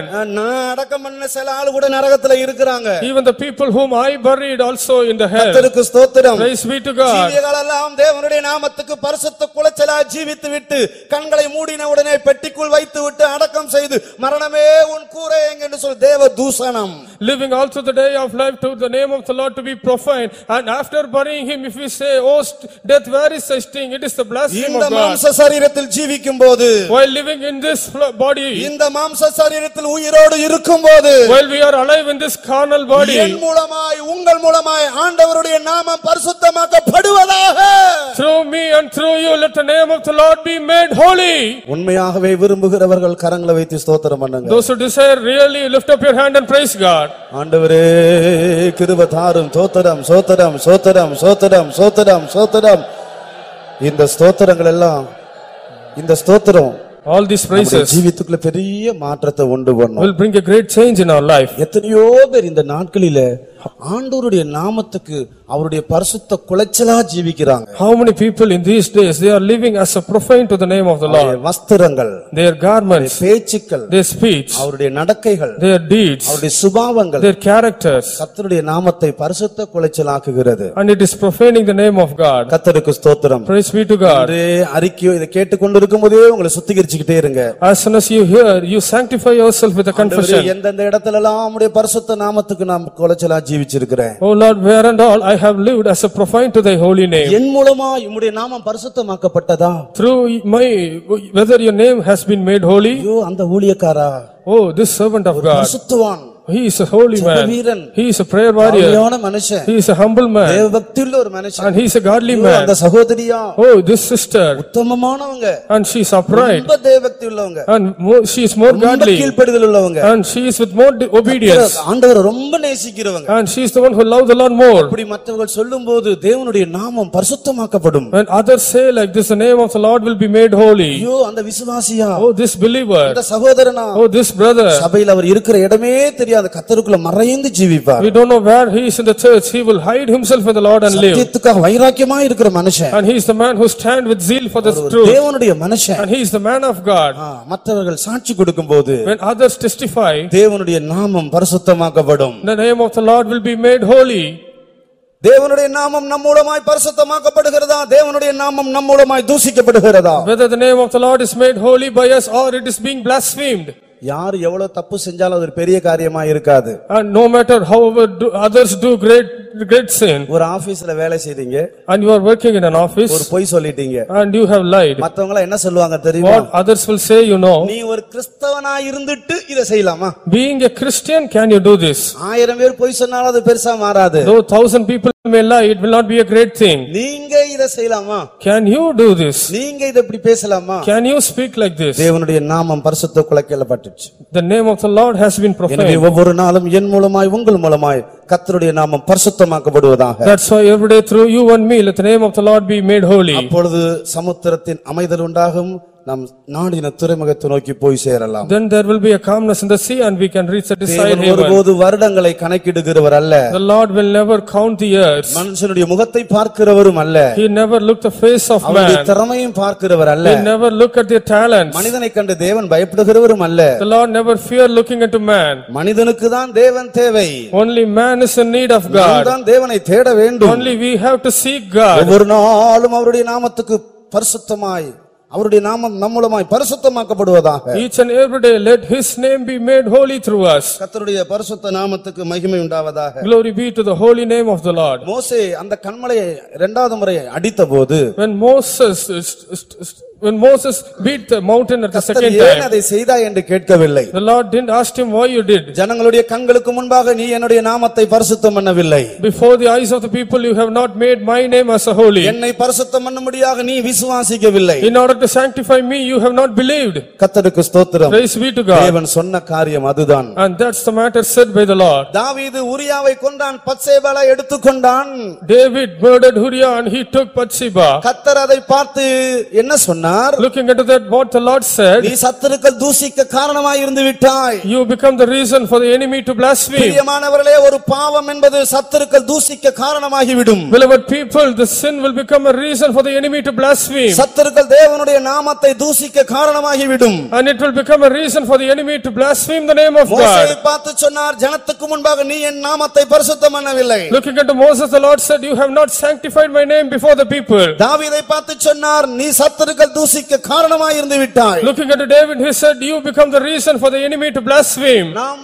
தேவனுடைய சமூகத்தை விட்டு விலகும்போது While we separate ourselves from the presence of God, பாவங்கள் நமக்குள்ள வரும்போது when sin comes in us, சத்துருக்கள் தேவனை தூசிக்கிறார்கள் enemy started to blaspheme God. தேவனுடைய நாமம் பரிசுத்த குலைச்சலாக்கப்படுகிறது The name of the Lord is profaned there. கிருபையாய் கத்த நமக்கு மன்னித்து இன்றிலிருந்து நம்முடைய ஜீவியத்தின் மூலமாக கத்தருடைய நாமம் பரிசுத்தமாக்கப்படுவதாக Graciously let the Lord forgive us and right from today let the name of the Lord be sanctified through us. பிதாவே உம்முடைய நாமம் பரிசுத்தமாக்கப்படுவதாக Oh Father, let thy name be sanctified. பிதாவே உம்முடைய நாமம் பரிசுத்தமாக்கப்படுவதாக Oh Father, let thy name be made holy. பிதாவே என் மூலமா உம்முடைய நாமம் பரிசுத்தமாக்கப்படுவதாக Oh Father, through me let thy name be made holy. கத்தருக்கு ஸ்தோத்திரம் Praise be to God. அந்த ஒரு தீர்மானத்தோடு நம்முடைய அடிகளை எடுத்து வைப்போமாக With that decision, let us step forward. கத்தருக்கு ஸ்தோத்திரம் Praise be to God. அடுத்தபடியாக Nextly, தேவனுடைய உடன்படிக்கையை நாம் பரிசுத்தமாக்க வேண்டும் பரிசுத்த குலைச்சலாக்க கூடாது we should sanctify the covenant of God and we should not profane that. மல்கியா இரண்டாம் அதிகாரம் பதினாறாம் வசனத்தை வாசிக்கும் போது In Malachi chapter 2 verse 16 while we read, அங்கே கத்த சொல்லுகிறார் பிதாக்களின் உடன்படிக்கை அவர்கள் பரிசுத்த குலைச்சலாக்கினார்கள் there the, there the Lord said they had profaned the covenant of the fathers. வாசிங்க மல்கியா இரண்டாம் அதிகாரம் பத்தாம் வசனம். Malachi chapter 2 verse 10. நாம் எல்லாருக்கும் ஒரே பிதா இல்லையோ? ஒரே தேவன் நம்மை சிருஷ்டித்ததில்லையோ? நாம் நம்முடைய பிதாக்களின் உடன்படிக்கை பரிசுத்த குலைச்சலாக்கி அவனவன் தன் தன் சகோதரனுக்கு துரோகம் பண்ணுவானே கத்தருக்கு ஸ்தோத்திரம் Praise be to God. பிதாக்களின் உடன்படிக்கையை பரிசுத்த குலைச்சலாக்கினார்கள் They profaned the covenant of the fathers. இப்போது உடன்படிக்கை எல்லா உடன்படிக்கையை பற்றி இப்ப நாம் பார்க்க போறதில்ல Now we are not going to meditate about all the covenants. பொதுவாக உடன்படிக்கை Normally the covenant. உடன்படிக்கை பரிசுத்த குலைச்சலாக்க கூடாது We should not profane the covenant. கத்தருக்கு ஸ்தோத்திரம் Praise be to God. ஒரு உடன்படிக்கை மாத்திரம் சொல்லி போய் விடுகிறேன் And let me tell அடுத்த you, அடுத்த காரியத்துக்கு கடந்து போகலாம் by telling only one covenant, let us move on to the next part. நாம் எல்லாரும் ஞானஸ்நான சத்தியத்தின் மூலமாக நல் மனசாட்சி உடன்படிக்கை செய்திருக்கிறோம் We all had made a covenant of good conscience through the water baptism. ஞானஸ்நானம் என்று சொல்லுகிறது நிறைய காரியங்கள் அடங்கி இருக்கிறது In water baptism, many things are there. அதுல ஒன்றுதான் ஞானஸ்நானம் என்று சொல்லுகிற நல் மனசாட்சியின் உடன்படிக்கை One among that is the covenant of good conscience. கத்தருக்கு ஸ்தோத்திரம் Praise be to God. அதை குறித்து ஒன்று பேதுரு மூன்றாம் அதிகாரம் இருபத்தி ஓராம் வசனத்தில் நாம் அதை வாசிக்கிறோம் About that in first Peter chapter 3 verse 21 we read. தேவனை பற்றும் நல் மனசாட்சியின் உடன்படிக்கை தான் அந்த ஞானஸ்நானம் The baptism is the good conscience pertaining the Lord. ஒவ்வொரு நாளும் அந்த உடன்படிக்கை பரிசுத்தமாக்கப்பட வேண்டும் Each and every day that covenant must be sanctified. அதனுடைய அர்த்தம் என்ன What is the meaning? நாம் ஒவ்வொரு நாளும் அந்த ந- அந்த உடன்படிக்கையாக நல் மனசாட்சியின் உடன்படிக்கையை நாம் காத்துக்கொள்ள வேண்டும் Each and every day we have to preserve the covenant of good conscience. நம்முடைய நல் மனசாட்சியின் அந்த உடன்படிக்கையை நாம் காத்துக்கொண்டோம்னு எப்படி நமக்கு தெரியும் How we come to know that we have preserved the covenant of good conscience? ஒரு அடையாளத்தை சொல்லுகிறேன் Let me tell you one symbol. அந்த நல் மனசாட்சியின் உடன்படிக்கை பரிசுத்த குலைச்சலாக்கி இருக்கிறோம் என்று எப்படி தெரியும் How we came, come to know that we have profaned the covenant of good conscience? அல்லது அந்த நல் மனசாட்சியின் உடன்படிக்கை ஒவ்வொரு நாளும் நாம் பரிசுத்த குலைச்சலாக்காமல் ஒரு நல் மனசாட்சியின் உடன்படிக்கை பரிசுத்தமாக்கணும் என்று எப்படி தெரியும் How we come to know I have made the covenant of good conscience as a sanctified one, not profaning not even one day. கவனமாக கவனியுங்கள் Listen carefully. ஒரு அடையாளம் One symbol, நம்முடைய மனசாட்சி பிரகாசிக்கிறதாக இருக்கும் our conscience will be shining. நம்முடைய மனசாட்சி பிரகாசிக்காவிட்டால் If our conscience won't shine, அந்த நாடின துறைமுகத்தை போய் சேர முடியாது we can't reach that desired heaven. பலவிதமான வாதிப்புகளை குறித்து வேதம் சொல்லுகிறது About many tormentations, the Bible says, அதுல ஒன்று மனசாட்சியில இருக்கிற வாதிப்பு one among that the tormentation in the conscience, இருதயத்தில் இருக்கிற வாதிப்பு the persecutions in the heart. கத்தருக்கு ஸ்தோத்திரம் Praise be to God. நம்முடைய மனசாட்சியில வாதிப்பு இருக்கக்கூடாது There should not be any tormentation in the conscience. பல பூரணங்கள்ல ஒரு பூரணம் மனசாட்சி பூரணப்பட வேண்டும் Among many perfections, one perfection is the conscience must be, must be made நம்முடைய perfect. மனசாட்சி பூரணமாக்கப்படும் போது When our conscience is made perfect, நல் மனசாட்சி உடன்படிக்கை நாம் பரிசுத்த குலைச்சலாக்காமல் காத்துக் கொண்டோம் என்று சொல்லி அர்த்தம் and the meaning is we have not profaned the good conscience and we have preserved it. நம்முடைய மனசாட்சி பிரகாசிக்கும் போது When our conscience, when it shines, அந்த லக்கு பிரகாசிக்கும் that goal will shine. அது என்ன அந்த லக்கு What is that goal? அதுதான் அந்த நாடின துறைமுகமாக எருசலேமும் சீயோனும் That is the desired haven, the Jerusalem and Zion. அந்த லக்கு பிரகாசிக்காவிட்டால் If that goal won't shine, நம்முடைய மனசாட்சி பிரகாசிக்கல என்று சொல்லி அர்த்தம் the reason is that our conscience is not நம்முடைய shining. மனசாட்சி பிரகாசிக்க பிரகாசிக்க When our conscience keep on shines, அந்த நாடின துறைமுகமும் பிரகாசிக்கும் even the desired haven will also shine. எத்தனையோ ஊழியர்கள் விசுவாசிகள் இதை அனுபவித்து சாட்சியாக சொல்லி இருக்கிறார்கள் So many servants of God and believers have experienced this and they have testified. ஏன் கடந்த ரெண்டு வாரத்துக்கு முன்பாக நடந்த ஏழு நாள் உபவாச ஜெபத்தில் ஆறு நாள் உபவாச ஜெபத்தில் எத்தனை அருமையான விசுவாசிகள் அந்த ராஜ்யத்தின் பிரகாசத்தை கண்டார்கள் சாட்சி கொடுத்தார்கள் Even in the six days fasting prayer two weeks back, how many believers they saw the light of the kingdom of God and how many people they have testified. நமக்குள்ள சுத்திகரிப்பும் பரிசுத்தமாகுதல் உண்டாக உண்டாக நம்முடைய மனசாட்சி பிரகாசிக்கும் When sanctification and purification comes us, our conscience will shine. நம்முடைய மனசாட்சி இருளாக இருந்தால் If our conscience seems to be in a அல்லது dark, நம்முடைய மனசாட்சி நம்மை கடிந்து கொள்ளுமானால் or if our conscience rebukes அந்த us, ராஜ்யம் நமக்கு பிரகாசிக்காது that kingdom will not shine unto நாடின us. துறைமுகம் நமக்கு முன்பாக பிரகாசிக்காது The desired heaven will not shine before us. நம்முடைய மனசாட்சி பிரகாசிக்க பிரகாசிக்க Uh, As our conscience keep on நாம் தேவனுடைய ராஜ்யத்துக்குள் இருக்கிறது போல ஒரு உணர்வை நாம் அனுபவிப்போம் we can feel that we are inside the kingdom of God. சமீபத்தில் அருமையான ஒரு சகோதரி சாட்சி கொடுத்தார்கள் Recently, a wonderful sister, she testified, கத்தருக்கு ஸ்தோத்திரம் praise be to God. தேவனுடைய ராஜ்யத்துக்குள் தான் இருக்கிறது போலவே ஒரு உணர்வை அனுபவிக்கிறேன் என்று சொன்னார்கள் And she said, I was feeling that I am inside the kingdom of God. கத்தருடைய பிள்ளையே எந்த அளவுக்கு நம்முடைய மனசாட்சி நல் மனசாட்சியை நாம் காத்துக் Oh, child of God, to what extent we preserve our good conscience. அந்த அளவுக்கு அந்த ராஜ்யத்தினுடைய பிரகாசம் அந்த நாடின துறைமுகம் பிரகாசிக்கும் To that extent, the desired heaven, that kingdom will shine. அந்த லக்கு பிரகாசிக்கும் That goal will shine. கத்தருக்கு ஸ்தோத்திரம் Praise be to God. அந்த லக்கு பிரகாசிக்காவிட்டால் If that goal won't shine, நல் மனசாட்சியின் உடன்படிக்கையை நாம் பரிசுத்த குலைச்சலாக்கி இருக்கிறோம் we had profaned the good conscience of the covenant. நாம் சுத்திகரிக்க சுத்திகரிக்க பரிசுத்தமாக பரிசுத்தமாக அந்த நாடின துறைமுகம் லக்கு பிரகாசிக்கும் As we keep on sanctify ourselves, as we keep on made holy, that desired heaven, the goal will shine. கத்தருக்கு ஸ்தோத்திரம் Praise be to God. நாம் தேவனுடைய உடன்படிக்கையில் உண்மையாக Let இருப்போமாக us be faithful in the covenant of God. நாம் தேவனோடு செய்த உடன்படிக்கை The covenant that we made with God, தேவன் நம்மோடு செய்த உடன்படிக்கை the covenant that the Lord made with us. நாம் தேவனோடு நல்மனசாட்சியின் உடன்படிக்கை செய்யும் போது When we make a good co- con- covenant of good conscience with the Lord, தேவனும் நம்மோடு நிறைய உடன்படிக்கை செய்கிறார் the Lord himself do so many covenant with us. அதுல ஒரு உடன்படிக்கை One covenant of, நித்திய விவாகத்துக்கென்று நான் உன்னை நியமித்துக் கொள்வேன் மெய்யாகவே நியமித்துக் கொள்வேன் and I will appoint you for my eternal marriage, really I will appoint you. தேவன் நம்மோடு உடன்படிக்கை செய்கிறார் The Lord makes covenant with us. எனவே இந்த உடன்படிக்கை பரிசுத்த குலைச்சலாக்காமல் இந்த நல்மன சாட்சியின் உடன்படிக்கை ஒவ்வொரு நாளும் பரிசுத்தமாக்கப்படுவதாக That's why let this covenant of good conscience, let it be sanctified every day. அப்பொழுது சமுத்திரத்தில் இருக்கிற அமைதல் உண்டாகும்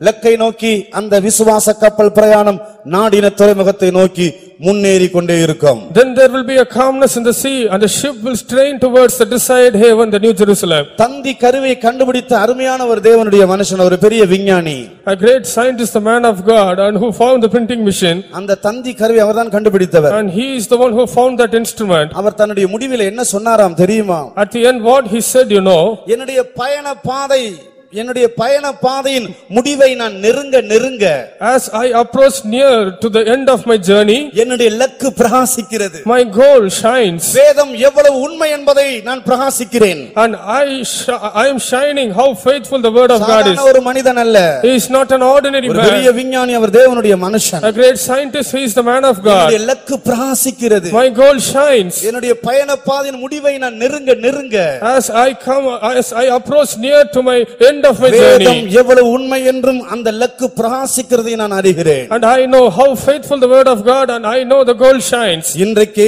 நம்முடைய நல் மனசாட்சியை புதுப்பிப்போமாக Right now, let us renew our good conscience. ஒருவேளை நீங்கள் அதை இழந்து போயிருக்கலாம் Perhaps you might have lost that. குற்ற மனசாட்சி இருக்கலாம் You may have the bad conscience. பயப்படாதிருங்கள் Don't be afraid. இன்னும் நம்முடைய காலங்கள் முடியவில்லை Still, our time is not to an end. கண்ணீரோடு கத்தடைய சமூகத்தில் விழுந்து விடுவோமாக With tears, let us fall in the presence of God. கர்த்தர் தம்முடைய ரத்தத்தினால் கழுகி நமக்கு இரக்கம் செய்து நல் மனசாட்சி கொடுக்க உண்மையுள்ளவர் The Lord is faithful to sanctify us and He is faithful to give us a good conscience. கத்தருக்கு ஸ்தோத்திரம் Praise be to God. மூன்றாவதாக Thirdly, தேவனுடைய ஆலயத்தை பரிசுத்த குலைச்சலாக்க கூடாது தேவனுடைய ஆலயம் பரிசுத்தமாக்கப்பட வேண்டும் we should not profane the temple of God and the temple of God must be sanctified. அந்த அமைதி குலைக்கப்படக்கூடாது That peace must not be profaned. எசேக்கியேல் நாற்பத்தி நாலாம் அதிகாரம் ஏழாம் வசனத்தை வாசிக்கும் போது When we read Ezekiel chapter 44 verse 7, கத்தர் சொல்லுகிறார் என் ஆலயத்தின் பரிசுத்தம் குலைக்கப்படா கூடாது. The Lord says, "The holiness of my temple must not be profaned." வாசிங்க. நீங்கள் எனக்கு செலுத்த வேண்டிய ஆகாரமாகிய நினத்தையும் இரத்தத்தையும் செலுத்துகையில் என் ஆலயத்தை பரிசுத்த குலைச்சலாக்காதபடிக்கு விருத்த சேதனமில்லாத இருதயமும் விருத்த சேதனமில்லாத மாம்சமுள்ள அந்நிய புத்திரரை என் பரிசுத்த ஸ்தலத்துக்குள் இருக்கிறதற்காக அழைத்து கொண்டு வந்தீர்கள் போதும் கத்தருக்கு ஸ்தோத்திரம் Praise be to God. இதுல நிறைய விலையேறப்பட்ட சத்தியங்கள் இருக்கிறது ஒன்று ரெண்டை நாம் தியானிக்கலாம் Many precious truths are there, but let us meditate one or N two. ஆலயத்தின் பரிசுத்தம் எப்படி குலைக்கப்படலாம் How the holiness of my temple be polluted. பழைய ஏற்பாட்டு காலத்தில் எழுத்துக்குரிய ஆலயம் இருந்தது In the Old Testament period, there is a literal temple. புதிய ஏற்பாட்டு காலத்தில் நானும் நீங்களும் தான் தேவனுடைய ஆலயம் In the New Testament period, you and I are the temple of God. பரிசுத்த ஆவியின் அபிஷேகத்தை பெற்ற தேவனுடைய பிள்ளைதான் தேவனுடைய ஆலயம் The child of God who received the holy anointing of the Lord is the temple of God. தேவனுடைய ஆலயங்கள் எல்லாம் ஒரு அலையிலேயே சொல்லுங்க பார்க்கலாம்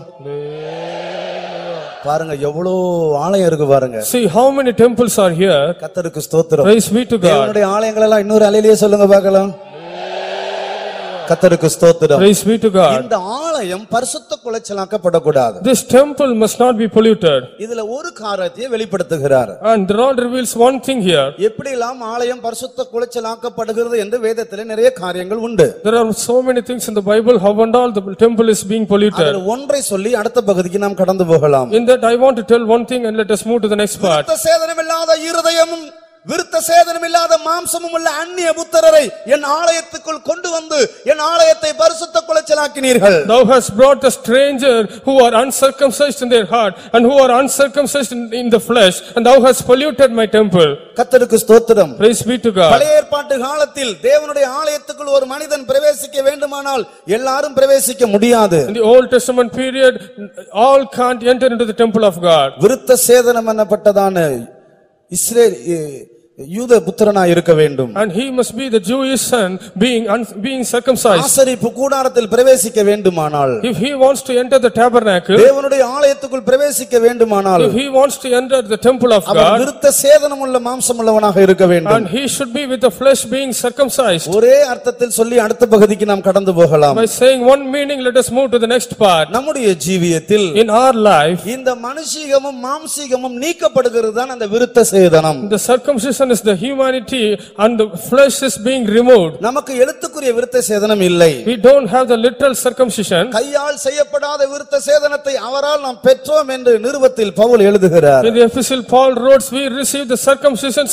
which is not made by the hand by him. நம்முடைய இருதயம் விருத்த சேதனம் பண்ணப்பட்ட இருதயமாக இருக்க வேண்டும் Our heart must be a circumcised heart. அப்படி இல்லாவிட்டால் If it is not, நாம் இந்த ஆலயத்தை பரிசுத்த குலைச்சலாக்குகிறோம் we profane this holy temple. நமக்குள்ள இருக்கிறதான மனுஷிகமான மாம்சிகமான காரியங்கள் நீக்கப்படுவதுதான் நம்முடைய இருதயத்தில் உள்ள விருத்த சேதனம் The circumcision means all the human and carnal natures being removed out of us.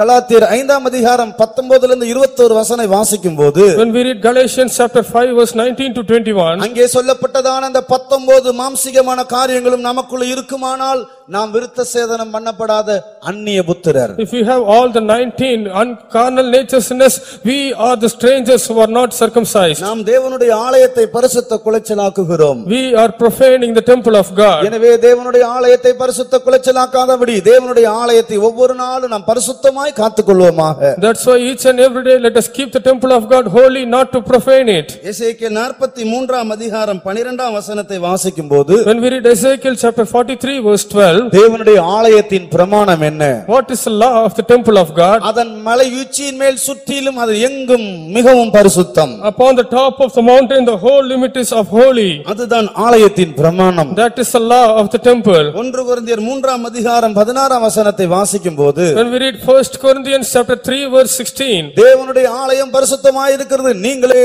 அந்த ஆலயம் என்று வேதம் சொல்லுகிறது the Bible says, "For the temple of God is holy and ye are the temples." ஒருவன் தேவனுடைய ஆலயத்தை கெடுத்தால் தேவன் அவனை கெடுப்பார் If any man defile the temple of God, the Lord will defile him.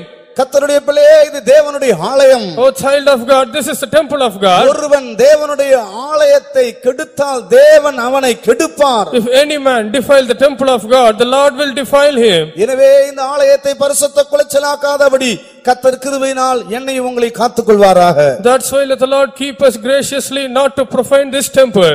கத்தருக்கு ஸ்தோத்திரம் Praise be to God. அடுத்தபடியாக Nextly, தேசத்தை பரிசுத்த குலைச்சலாக்க கூடாது we should not profane the nation. என்னாக முப்பத்தி ஐந்தாம் அதிகாரம் முப்பத்தி மூணு முப்பத்தி நாலு வசனத்தை வாசிக்கும் போது When we read Numbers chapter 33 verses 33 and 34, தேசத்தை பரிசுத்த குலைச்சலாக்க கூடாது என்று சொல்லப்பட்டிருக்கிறது it is said we should not profane the nation. மூன்று விதத்தில் தேசம் பரிசுத்த குலைச்சலாக்கப்படுகிறது In three ways, the nation is being polluted. ஒன்று ரத்தம் சிந்துதலினாலும் ரத்த பலியினாலும் தேசம் பரிசுத்த குலைச்சலாக்கப்படுகிறது And first thing, through the bloodshed and through the blood guilt, the nation is being polluted. என்னாக முப்பத்தி அஞ்சு முப்பத்தி மூணு முப்பத்தி நாலு நம்ம அதை வாசிக்கிறோம் In Numbers chapter 33 verses 33, 34 and 35, we read. அடுத்தபடியாக தேசம் எப்படி பரிசுத்த குலைச்சலாக்கப்படுகிறது And nextly, how the nation is being profaned. லேவியராகும் பத்தொன்பதாம் அதிகாரம் இருபத்தி ஒன்பதாம் வசனத்தை வாசிக்கும் போது In Leviticus chapter 19 verse 29 will we read. வேசித்தனத்தினால் தேசம் பரிசுத்த குலைச்சலாக்கப்படுகிறது And due to adultery, the land is being polluted. கத்தருக்கு ஸ்தோத்திரம் Praise be to God. மூன்றாவது அருவருப்புகளினால் தேசம் பரிசுத்த குலைச்சலாக்கப்படுகிறது And thirdly, through abominations, the nation is being polluted. லேவியராகமும் பதினெட்டாம் அதிகாரம் இருபத்தி ஏழு இருபத்தி ஆறு இருபத்தி ஏழு வசனங்களில் நாம் அதை வாசிக்கிறோம் In Leviticus chapter 18 verse 26 and 27 we read that. ரத்தம் சிந்துதலினாலும் ரத்த பலியினாலும் வேசித்தனத்தினாலும் அருவருப்புகளினாலும் தேசம் பரிசுத்த குலைச்சலாக்கப்படுகிறது By bloodshed and blood guilt and by by adulteress and by the, ஒரு அர்த்தத்தில் in one meaning, அபிஷேகம் பண்ணப்பட்ட தேவனுடைய சபைதான் அந்த தேசமாக இருக்கிறது the anointed church of God it seems to be that nation. தேவன் அபிஷேகத்தின் மூலமாய் அன்பின் குமாரனுடைய ராஜ்யத்துக்குள் நம்மை கொண்டு வந்திருக்கிறார் The Lord by anointing, he had brought us into the kingdom of lovable son. அன்பின் குமாரனுடைய தேசத்துக்குள் கொண்டு வந்திருக்கிறார் He had brought us to the nation of lovable son. நமக்குள்ள ரத்தம் சிந்துதலும் ரத்த பலியும் நமக்குள்ள இருக்கக்கூடாது We should not have the blood shedding and the blood guilt. ரத்த பலிகளை சுமந்து கொண்டு நாம் தெரியக்கூடாது We should not bear the blood guilt in us. நம் மூலமாய் ஒருவராது இடறி போவாரானால்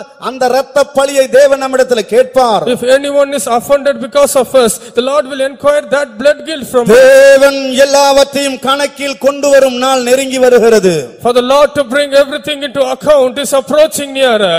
இந்த பூமி ரத்த பலிகளை சுமந்து கொண்டு சுற்றி கொண்டிருக்கிறது This earth is rotating, carrying the blood guilt. ரத்த பலியோடு ரத்த பலிகள் சேருகிறது Blood guilt is adding along with the blood ரத்த guilt. பலிகளோடு ரத்த பலியோடு இந்த பூமி சுமந்து சுத்தி சுற்றி கொண்டிருக்கிறது The earth is carrying along with the blood guilt and it is being rotated. ரத்தம் சிந்துதலும் இருக்கக்கூடாது ரத்த பலியும் இருக்கக்கூடாது Neither bloodshed nor blood guilt, we should not have that. நம் மூலமாய் ஒரு ஆள் இடறி போனாலும் கத்தர் அந்த ரத்த பலியை நம்மைல் கணக்கு கேட்பார் If any person is offended because of us, the Lord will ask the blood guilt from our hand. ரத்தம் சிந்துதல் என்று சொன்னால் என்ன What is mean by bloodshed? நம்முடைய ஜீவியத்துல கோபம் எரிச்சல் பகை எல்லாமே ரத்தம் சிந்துகிற ஒரு சுபாவங்கள் ரத்தங்கள் தான் All the anger, wrath, hatred and enmity are the bloodshed in our life. நாம் எழுத்துக்குரிய பிரகாரமாய் பட்டயத்தையோ கத்தியை எடுத்து யாரையும் கீற வேண்டாம் வெட்ட வேண்டாம் Literally, we don't need to take the sword and harm others. இப்ப ஒரு கத்தி எடுத்து நான் இந்த சகோதரனை கீறினால் ரத்தம் வடியும் If I take a sword and harm this brother, blood will ooze out. ரத்தம் சிந்தும் The blood will shed. எழுத்துக்குரிய பிரகாரமா நாம் யாரும் ரத்தம் சிந்துகிறது இல்லை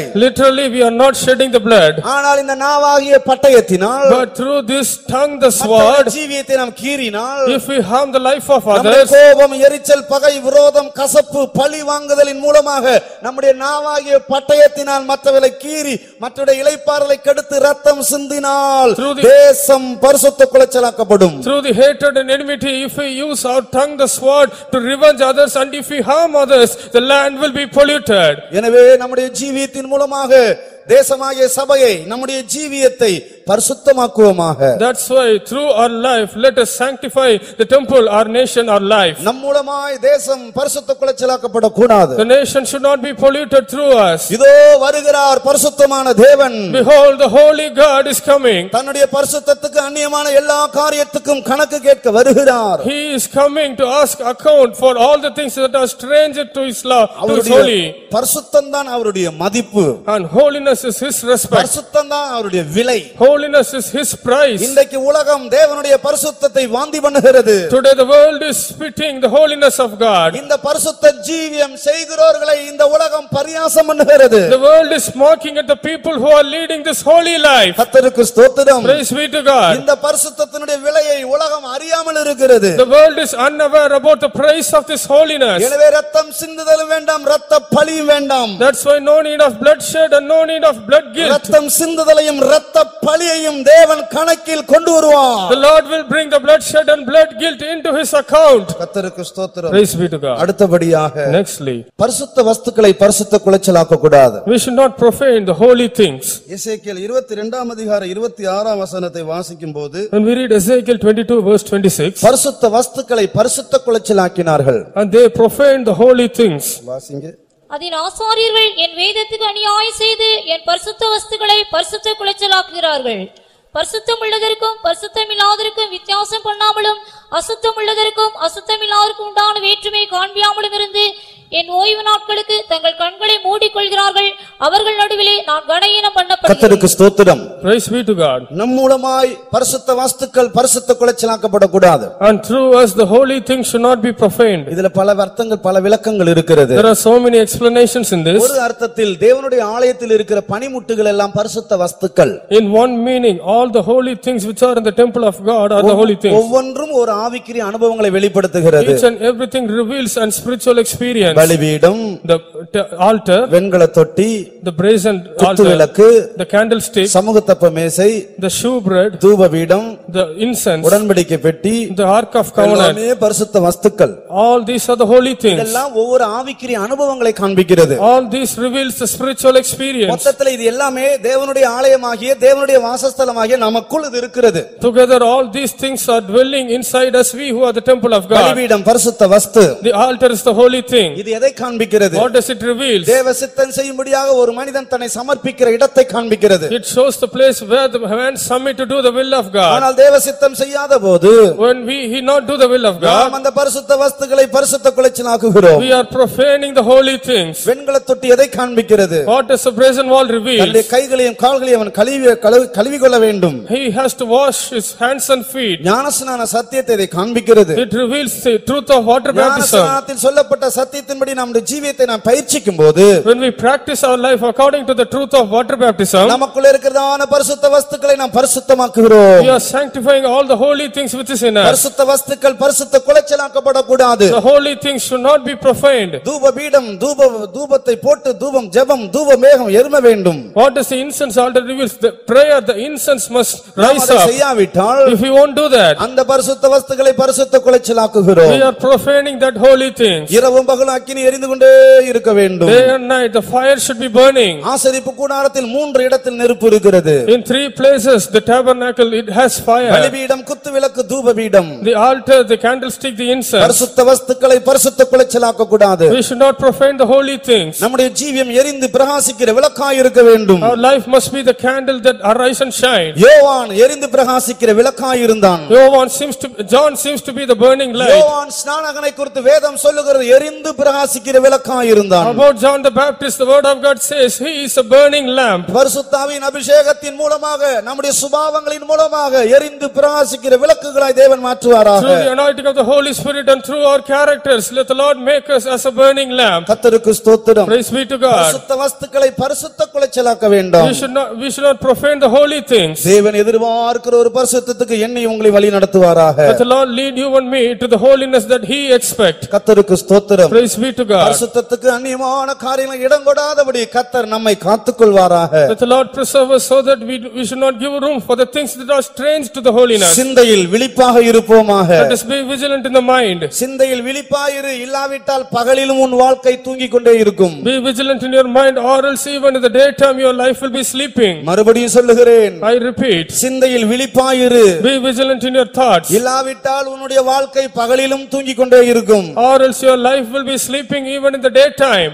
பரிசுத்த வஸ்துக்களை பரிசுத்த குலைச்சலாக்காதபடி ஒவ்வொரு நாளும் பரிசுத்தமாக்க தேவன் கிருபை செய்வாராக Let the Lord give us grace in order to sanctify the holy things, not to profane. அடுத்தபடியாக ஓய்வு நாளை பரிசுத்தமாக்க வேண்டும் Nextly, we have to sanctify the Sabbath day. எசேக்கியேல் இருபத்தி இருபதாம் அதிகாரம் இருபது இருபத்தொரு வசனங்களை வாசிக்கும் போது Ezekiel chapter 20 verses 20 and 21 while we read, என் ஓய்வு நாளை அவர்கள் பரிசுத்த குலைச்சலாக்கினார்கள் They had profaned my Sabbath day. எனவே என்னுடைய உக்கரத்தையும் என் கோபத்தையும் நான் அவர்களை தீர்த்துக் கொள்வேன் That's why I will quench my anger and wrath in them. அந்த பகுதி கடைசி பகுதியை மாத்திரம் வாசிங்க Let us read the last part.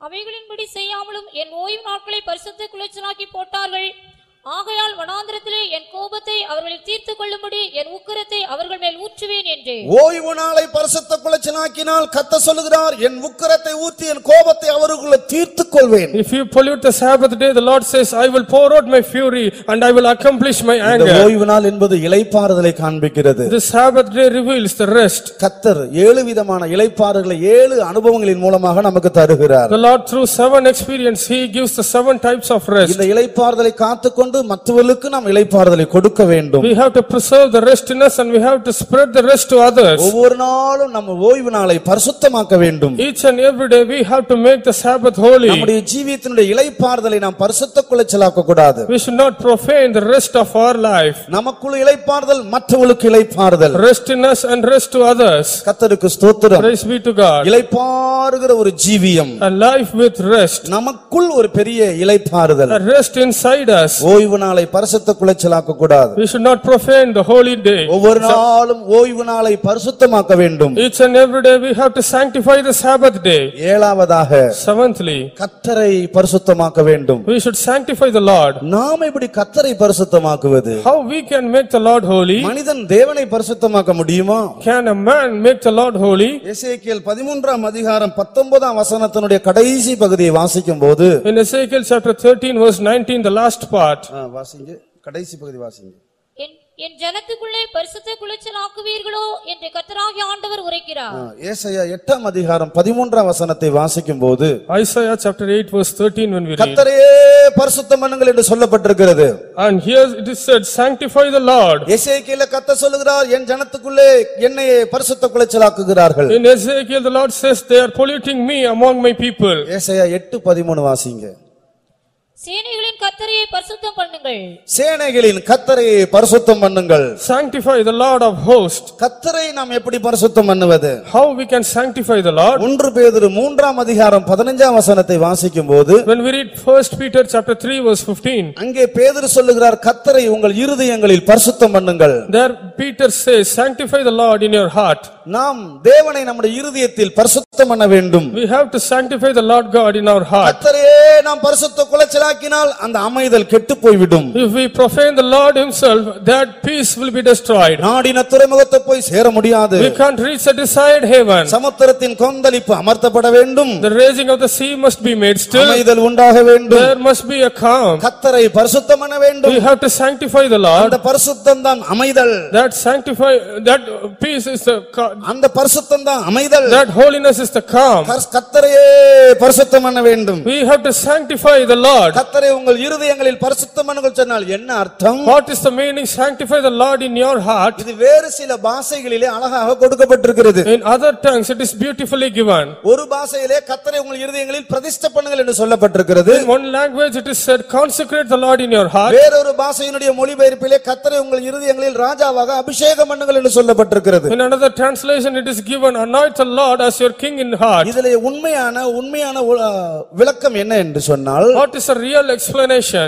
தேவனை ராஜாவாக நம்முடைய இருதயத்தில் அபிஷேகம் பண்ணுவதுதான் அந்த கத்தரை பரிசுத்தம் பண்ணுவது Anointing the Lord as king in our heart is sanctifying the Lord. அதனுடைய அர்த்தம் என்ன What is the meaning? எல்லாவற்றுக்கும் என் தேவனே எனக்கு எஜமான் For everything, the Lord alone is my master. எல்லாவற்றுக்கும் என் தேவனே தலைவராக இருக்கிறார் For everything, the Lord alone is my head. அவரே எனக்குள் ராஜாவாக இருந்து என்னை ஆளுகை செய்கிறார் He alone being the king is ruling in me. எல்லாவற்றுக்கும் கத்தரே நோக்கி பார்ப்பது For everything, looking the Lord alone. எல்லாவற்றுக்கும் கத்தரே சார்ந்து கொள்வது For everything, leaning upon the Lord எல்லா alone. காரியத்துக்கும் கத்தரே நம்பி இருப்பது For everything, trusting the Lord alone. எல்லா காரியத்திலும் கத்தரை கனம் பண்ணுவது For everything, honoring the Lord alone. எல்லாரை காட்டிலும் ஆண்டவரை அதிகமாய் நேசிப்பது For uh, above all, loving the Lord more and more. இதுதான் கத்தரே பரிசுத்தம் பண்ணுவது This is what sanctifying the Lord. நம்முடைய இருதயத்தில் கத்தரை பரிசுத்த குலைச்சலாக்க கூடாது We should not profane the Lord in our heart. இயேசுவை காட்டிலும் யாரையாவது நாம் அதிகமாய் நேசித்தால் நாம் கத்தரை பரிசுத்த குலைச்சலாக்கி விட்டோம் If we love anyone more than Jesus,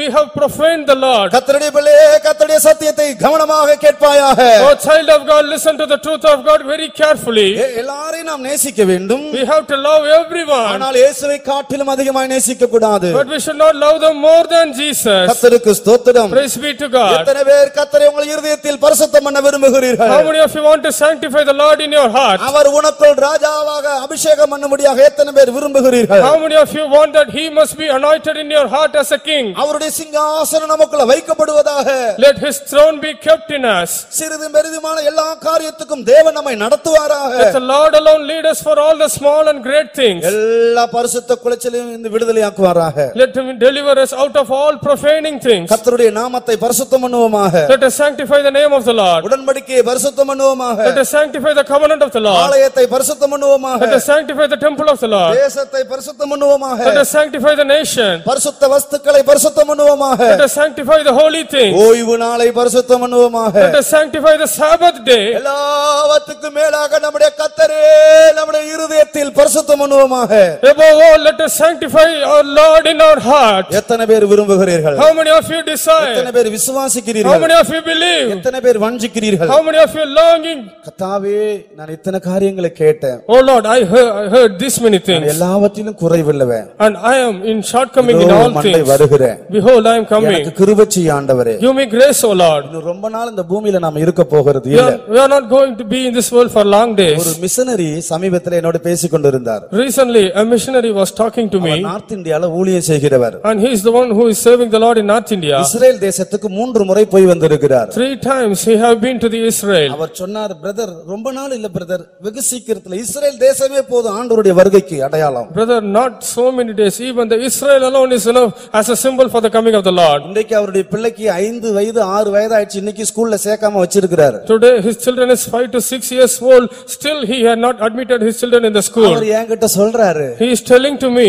இல்ல பிரதர் நான் ஸ்கூல்ல சேர்க்கல no brother, I am not going to admit him in the school. ஆண்டவர் சீக்கிரம் வர போறார் The Lord is going to come soon. வெகு சீக்கிரத்துல வர்றாரு Very soon he comes. பெரிய பெந்தகோஸ் விசுவாசி அல்ல And he is not a great Pentecostal believer. மிஷனரியாக ஊழியம் செய்கிறார் And he is doing the missionary work. மூன்று முறை இஸ்ரேல் தேசத்துக்கு போய் வந்து இஸ்ரேல் தேசத்தினுடைய சம்பவங்களை வைத்து அவர் சொல்லுகிறார் Three times after being to Israel, with the incident of Israel, he is saying, இனி சமயம் இல்லை there is no more time. இந்த பரிசுத்தமாக்கப்பட்டவர்கள் Those who are sanctified, நாடின துறைமுகம் பிரகாசித்துக் கொண்டிருக்கிறது unto them the desired heaven is shining. உண்மையா நீங்க ஒப்பு கொடுத்தா If you surrender really, கர்த்தர் உங்களை பரிசுத்தமாக்கி இருக்கிறார் கத்தர் உங்களை விடுதலையாக்கி எப்படி தெரியும் How we will come to know the Lord had sanctified you. இந்த கூட்டத்தினுடைய முடிவிலே அந்த நாடின துறைமுகம் அந்த தேவனுடைய ராஜ்யம் பிரகாசிக்கிறதை நீங்கள் காண்பீர்கள் At the end of this meeting, you will see the desired heaven, the kingdom of God shining. அந்த நாடின துறைமுகம் பிரகாசிக்காவிட்டால் If that desired heaven won't shine, பரிசுத்த குலைச்சல் இருக்கிறது என்பதை விளங்கிக் கொள்வோம் and let us understand some profane in holy things is ஒரு there. சம்பவத்தை சொல்லி முடிக்க வாஞ்சிக்கிறேன் By saying an incident, I want to conclude. பல இடங்களிலும் சொல்லி இருக்கிறேன் I have told it in many places. Ireland தேசத்திலே சில வருடங்கள் முன்பு நடந்த ஒரு சம்பவம் And the incident which took place in the land of Ireland, ஒரு குழந்தை பிறந்தது a baby was born, பிறந்த குழந்தை கை இப்படி ஒட்டி ஜெபிக்கிறது போல பிறந்தது a newborn baby in a position of praying அந்த ரெண்டு கரம் இப்படி ஒட்டி பிறந்தது with two hands in a praying position it இந்த born. ஒட்டப்பட்ட கரம் ஜெபிப்பது போல இருந்தது That hand seems to be like praying.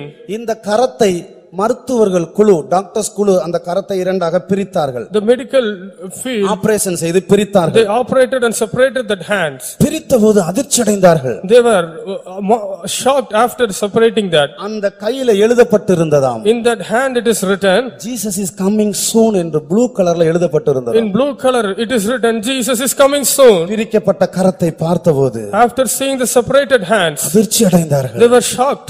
சில சில மணி நேரத்துக்குள் அந்த குழந்தை மரித்து போனது Within few minutes that child கர்த்தர் எனக்கு. உங்களுக்கு உணர்த்தும்படியாக எத்தனையோ விதங்களை கையாளுகிறார் In order to make you and me to understand the Lord is handling இயேசு. வருகிறார் Jesus comes. பரிசுத்தமாக்கப்பட்ட சபையை சேர்க்க வருகிறார் He comes to gather the sanctified கண்களை. மூடுவோமாக Let us close our eyes. முழங்கால் படியிட முடிஞ்சவங்க தேவ சமத்துல முழங்கால் படியிடுங்க All those who can stand in your kneel, you stand in your kneels. ஒரு சில நிமிஷம் One or two minutes. உங்களை சுத்திகரித்து கொண்டே இருங்க You keep on sanctifying yourself. பரிசுத்தமாக்கி கொண்டே இருங்க You keep on making you அங்கேயும் holy. இங்கேயும் பார்க்காதீங்க Don't look here and there. எதையும் யோசிக்காதீங்க Don't think anything. இன்று இரவு இயேசு வந்தால் நம்முடைய நிலவரம் என்ன If tonight the Lord comes, what is our state? எதற்கும் பயப்பட வேண்டாம் Don't afraid of anything. கலங்க வேண்டாம் Do not be இயேசு troubled. நம்முடைய மத்தியில இருக்கிறார் Jesus is on நீ our ஒன்று. செய்தால் போதும் It's enough if you do அவருடைய one thing. பாதத்தை பிடித்து கதறுவாயாக You caught hold of his feet and cry. கண்களை மூடி கத்தருனைக்கு கதற ஆரம்பிங்க Close your eyes and start crying to the Lord. மு- முழங்கால் படியிட முடிஞ்சவங்க எல்லாரும் முழங்கால் படியிடுங்க All those who can, you stand in your kneels. வயசானவங்க முடியாதவங்க வேண்டாம் No need of old people.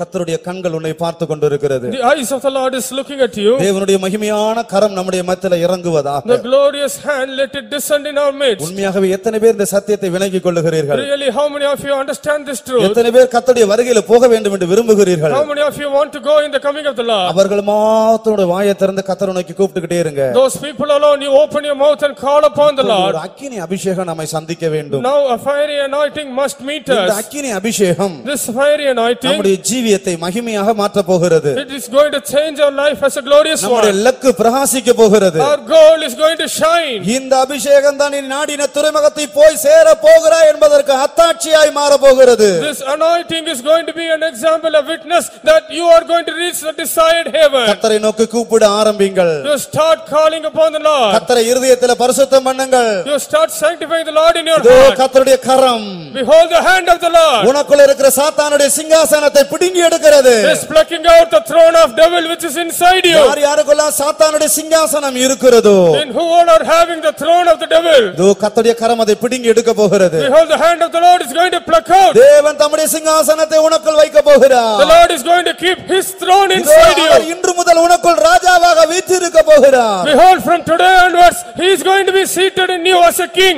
ஆயத்தப்படுங்கள் Be ready. கத்தர் உனக்கு கூப்பிட ஆரம்பிங்கள் You start calling the Lord. இதோ கத்தர் கிரியை செய்யும்படியாக இறங்கி விட்டார் Behold, the Lord has come to word. யார் யாரெல்லாம் உண்மையான இருதயத்தோடு கதறி கொண்டிருக்கிறார்களோ All those who are crying with a real heart. இதோ மகிமை நக்கினி பத்தி எரிய போகிறது Behold, the glorious fire is going to burn. அபிஷேகத்தின் அக்கினி பத்தி எரிய போகிறது The anointing of the Lord is going to burn. வெட்கப்படாதீர்கள் Don't feel shame. வெட்கப்படாதீர்கள் Don't be ashamed. வெட்கப்படாதீர்கள் Don't feel shame. நோக்கி கதறுங்கள் You cry unto the Lord. கண்ணீரோடு கதறுங்கள் You cry with tears. இருதயத்தை நொறுக்கி கதறுங்கள் Break your heart and t- கர்த்தாவே, cry. எனக்கு உதவி செய்யும் என்று சொல்லுங்கள் You say, Oh Lord, help me. எனக்கு மன்னியும் என்று சொல்லுங்கள் Oh Lord, forgive me. என்னை பரிசுத்தமாக்கும் என்று சொல்லுங்கள் You say, Oh Lord, sanctify me. நீங்க இதுக்கெல்லாம் வெட்கப்பட்டா If you feel shame for எப்படி this, நாடின துறைமுகத்தை போய் சேர போகிறீர்கள் how can you reach the desired கத்தர் heaven? உனக்கு கண்ணீரோடு கதற ஆரம்பியுங்கள் You all cry unto the Lord with எதற்கு tears. வெட்கப்படாதீர்கள் Don't feel shameful for ஊழியர்களே anything. விசுவாசிகளே புதிய ஆத்துமாக்களே கத்தரை நோக்கி கண்ணீரோடு கண்ணீரோடு கதறுங்க O servant of God, O believer, O new souls, cry unto the Lord with tears. Manavalan The வருகிறார் bridegroom is Manavalan coming. The வருகிறார் bridegroom comes. பரிசுத்தமாக்கப்பட்ட சபையை சேர்க்க He வருகிறார் comes to gather the sanctified church. பரிசுத்தமாக்கப்பட்ட சபையை சேர்க்க வருகிறார் He comes to gather the sanctified church. இப்பொழுது ஒரு அக்கினி அபிஷேகம் நம்முடைய மெத்தல இறங்க போகிறது Now a fiery anointing is going to descend அது amidst us. விடுதலையின் அக்கினி The fire, fire of அது deliverance. ஜெயத்தின் அக்கினி That is the fire of அது victory. பரிசுத்தத்தின் அக்கினி That is the fire of அது holiness. மறுரூபத்தின் அக்கினி That is the fire of transformation. மகிமையில் கொண்டு போய் சேர்க்கிற அக்கினி The fire that leads you to glory. ஹalleluya ஹalleluya ஹalleluya அக்கினி ஜுவாலையாய் மாற்றிடும் தேவா அற்புத சாட்சியாய் மாறு உமக்காய் அக்கினி ஜுவாலையாய் மாற்றிடும் தேவா அற்புத சாட்சியாய் மாறு அமே அக்கினி ஜுவாலையாய் மாற்றிடும் தேவா அற்புத சாட்சியாய் மாறு அமே அக்கினி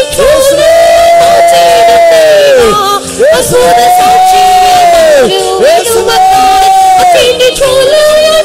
தேடும் தேவா அற்புத சாட்சியாய் மாறுவின் உமக்காய் அக்கினி ஜுவாலையாய் மாற்றிடும் தேவா அற்புத சாட்சியாய் மாறுவின் உமக்காய் அக்கினி ஜுவாலையாய் மாற்றிடும் தேவா அற்புத சாட்சியாய் மாறுவின் உமக்காய் அக்கினி ஜுவாலையாய் மாற்றிடும் தேவா அற்புத சாட்சியாய் மாறுவின் உமக்காய் அக்கினி ஜுவாலையாய் மாற்றிடும் தேவா அற்புத சாட்சியாய் மாறுவின் உமக்காய் அக்கினி ஜுவாலையாய் மாற்றிடும் தேவா அற்புத சாட்சியாய் மாறுவின் உமக்காய் அக்கினி ஜுவாலையாய் மாற்றிடும் தேவா அற்புத சாட்சியாய் மாறுவின் உமக்காய் அக்கினி ஜுவாலையாய் மாற்றிடும் தேவா அற்புத சாட்சியாய் மாறுவின் உமக்காய் அக்கினி ஜுவாலையாய் மாற்றிடும் தேவா அற்புத சாட்சியாய் மாறுவின் உமக்காய் அக்கினி ஜுவாலையாய் மாற்றிடும் தேவா அற்புத சாட்சியாய் மாறுவின் உமக்காய்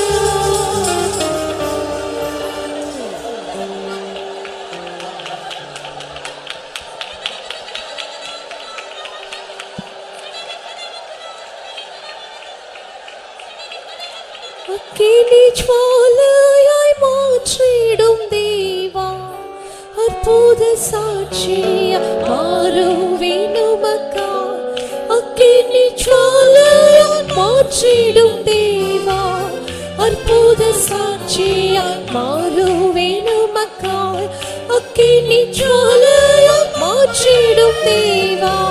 அற்புத சாட்சியாய் மாறுவேன் அக்கினி ஜுவாலையாய் மாற்றிடும் தேவா அற்புத சாட்சியாய் மாறுவேன் உமக்காய். அக்கினி ஜுவாலையாய் மாற்றிடும் தேவா. அற்புத சாட்சியாய் மாறுவேன் உமக்காய். அக்கினி ஜுவாலையாய் மாற்றிடும் தேவா. அற்புத சாட்சியாய் மாறுவேன் உமக்காய். அக்கினி ஜுவாலையாய் மாற்றிடும் தேவா. அற்புத சாட்சியாய் மாறுவேன் உமக்காய். அக்கினி ஜுவாலையாய் மாற்றிடும் தேவா. அற்புத சாட்சியாய் மாறுவேன் உமக்காய்.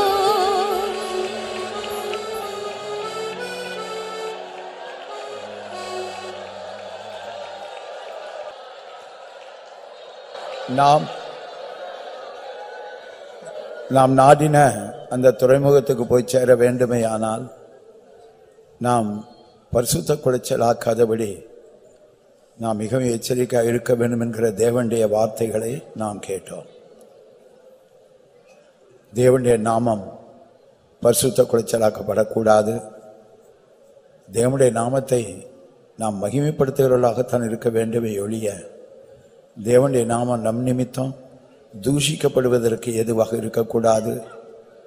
நம்முடைய வேலை ஸ்தலங்கள் நாம் இருக்கிற இடங்கள் நம்முடைய உற்றார் உறவினர் இவருடைய மத்தியில் தேவனுடைய நாமம் தூஷிக்கப்படுவதற்கு ஏதுவாக நம்முடைய வார்த்தைகள் நம்முடைய கிரியைகள் நம்முடைய நடக்குகள் காணப்படுகிறதா என்று சொல்லி தேவனுடைய வசனம் அறிவிக்கப்பட்டு கொண்டிருந்த போது அந்த வசனத்தின் வெளிச்சத்தில் ஒன்று கூட நான் நம்மை ஆராய்ந்து பார்க்கவும் நம்மை சுத்திகரித்துக் கொள்ளவும் கத்தர் கிருபை செய்தபடினால் நாம் கத்தரை ஸ்தோத்தரிப்போம் Praise the Lord, praise the Lord, praise the Lord, praise the Lord, praise the Lord, praise the Lord. Praise the Lord, praise the Lord, praise the Lord, praise the Lord, praise the Lord. Praise the Lord, praise the Lord, praise the Lord, praise the Lord, praise the Lord. பிதாக்களோடு கூட பண்ணப்பட்ட அந்த உடன்படிக்கை அது மீறப்படக்கூடாது அது பரிசுத்த குலைச்சலாக்கப்படக்கூடாது நாம் கத்தரோடு கூட பண்ணியிருக்கிற அந்த நல் மனசாட்சியின் உடன்படிக்கை. ஞானஸ்தானத்திலே அந்த உடன்படிக்கைக்குள்ளாக நாம் வருகிறோமே. அந்த உடன்படிக்கை அதற்குள்ளாக நாம் காணப்படும்போது நம்முடைய மனசாட்சி மிகவும் பிரகாசம் உள்ளதாக இருக்கும். அந்த உடன்படிக்கையை நாம் ஒரு நாள் நஷ்டப்படுத்தி ஒரு இருளுக்குள்ளாக போய்விடக்கூடாது என்று சொல்லி தேவனுடைய வசனத்தின் வெளிச்சத்தை நம்மை சுத்திகரித்துக் கொள்ள கத்தர் கிருபை செய்தபடினால் நாம் கத்தரை ஸ்தோத்தரிப்போம். Praise the Lord, praise the Lord, praise the Lord, praise the Lord, praise the Lord. Praise the Lord, praise the Lord, praise the Lord, praise the Lord, praise the Lord. Praise the Lord, praise the Lord, praise the Lord, praise the Lord, praise the Lord. Praise the Lord, praise the தேவனுடைய ஆலயம் பரிசுத்த குலைச்சலாக்கப்படக்கூடாது எழுத்தின்படி உள்ள ஆலயங்கள் உண்டு ஆனால் இந்த புதிய ஏற்பாட்டில் பரிசுத்தாவின் அபிஷேகம் பண்ணப்பட்ட நாம் ஒவ்வொருவரும் தேவனுடைய ஆலயங்களாக திருத்துவ தேவன் நமக்குள்ளே வாசம் பண்ணுகிற அந்த பெரிய ஸ்லாக்கியத்தை நாம் பெற்றிருக்கிறோமே. ஆகினால் தேவனுடைய ஆலயங்களாக இருக்கிற நாம் எந்த விதத்திலும் தேவனுடைய ஆலயத்தை பரிசுத்த குளச்சலாக்காதபடி நான் நம்மை பாதுகாத்து கொள்ள வேண்டும் என்கிற தேவனுடைய வார்த்தைகளை நாம் கேட்டோமே.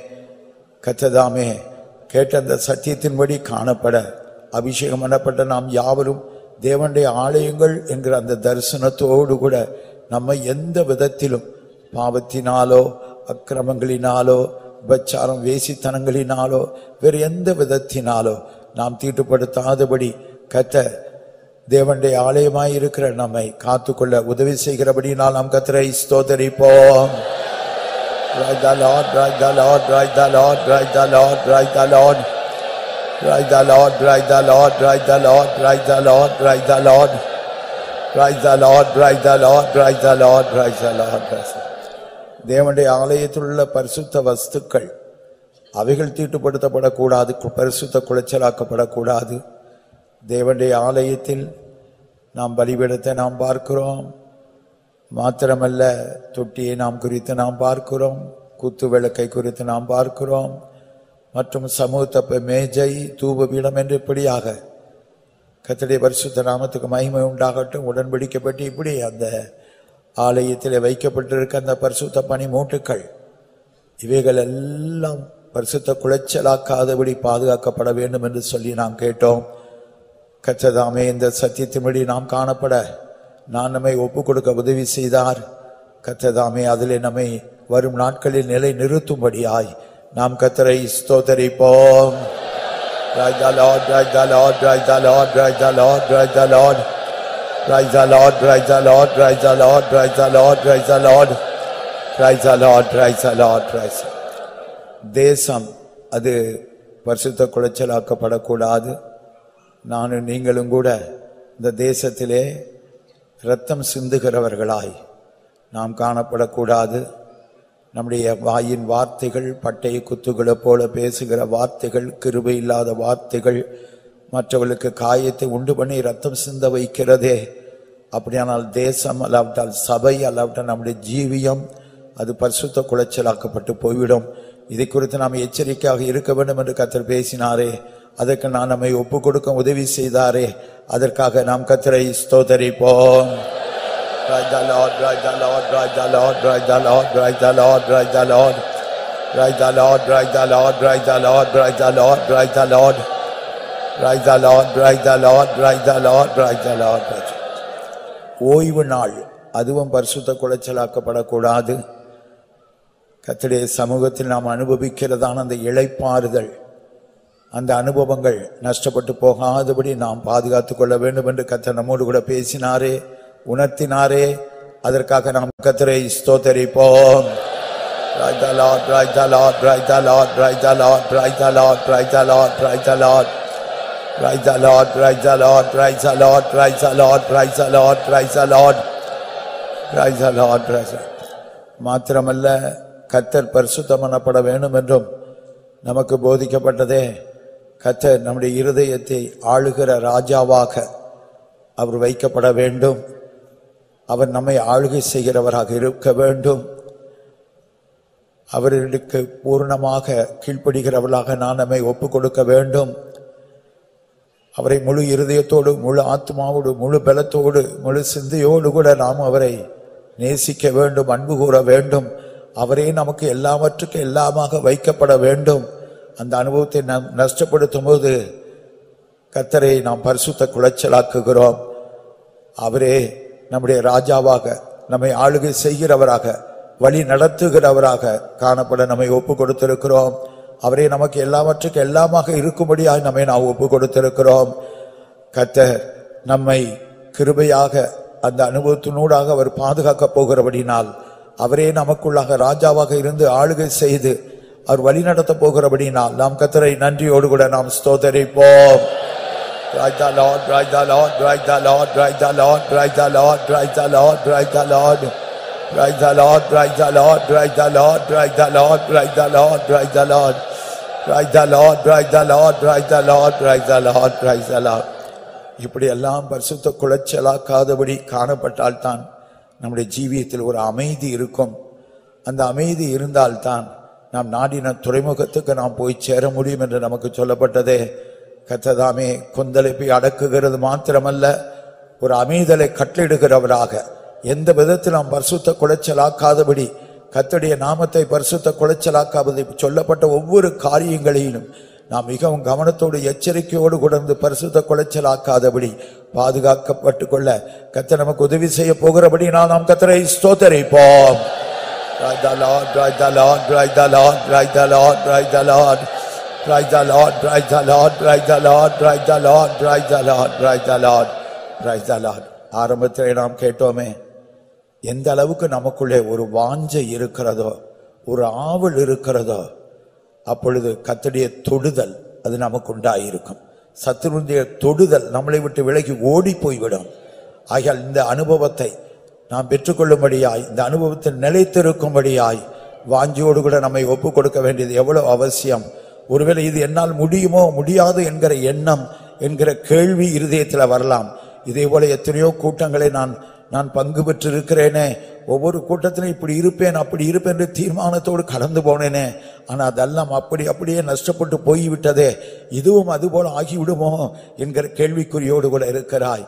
பயப்படாதே. உன்னை பலப்படுத்துகிறவர் என்னை பலப்படுத்துகிறவர். நம்முடைய ஆண்டவராய் இயேசு கிறிஸ்து என்னை பலப்படுத்துகிற கிறிஸ்துவினாலே எனக்கு எல்லாவற்றையும் செய்ய முடியும். லா- நாம் மாத்திரம் கத்தரை நோக்கி சொல்லுவோமாக. என்னில் வல்லமை பலனும் ஒன்றுமே இல்லை. அன்பின் ரட்சகோடீரோ என்னில் வல்லமை பலனும் ஒன்றுமே இல்லை அன்பின் ரட்சகோடீரோ என்னோடீரோ என்னோடீரோ இந்த இயேசு என்னோடீரோ என்னில் வல்லமை பலனோ ஒன்றுமே இல்லை அன்பின் ரட்சகோ என்னோடீரோ என்னில் வல்லமை பலனோ ஒன்றுமே இல்லை. அன்பின் ரட்சகோ என்னோடீரோ என்னோடீரோ.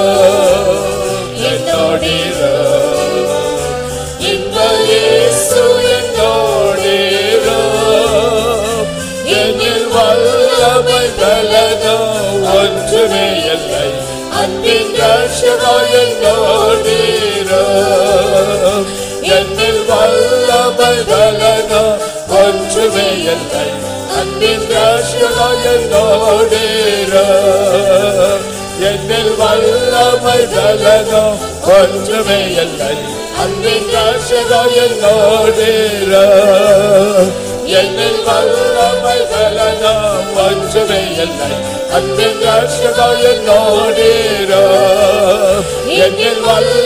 பலனோ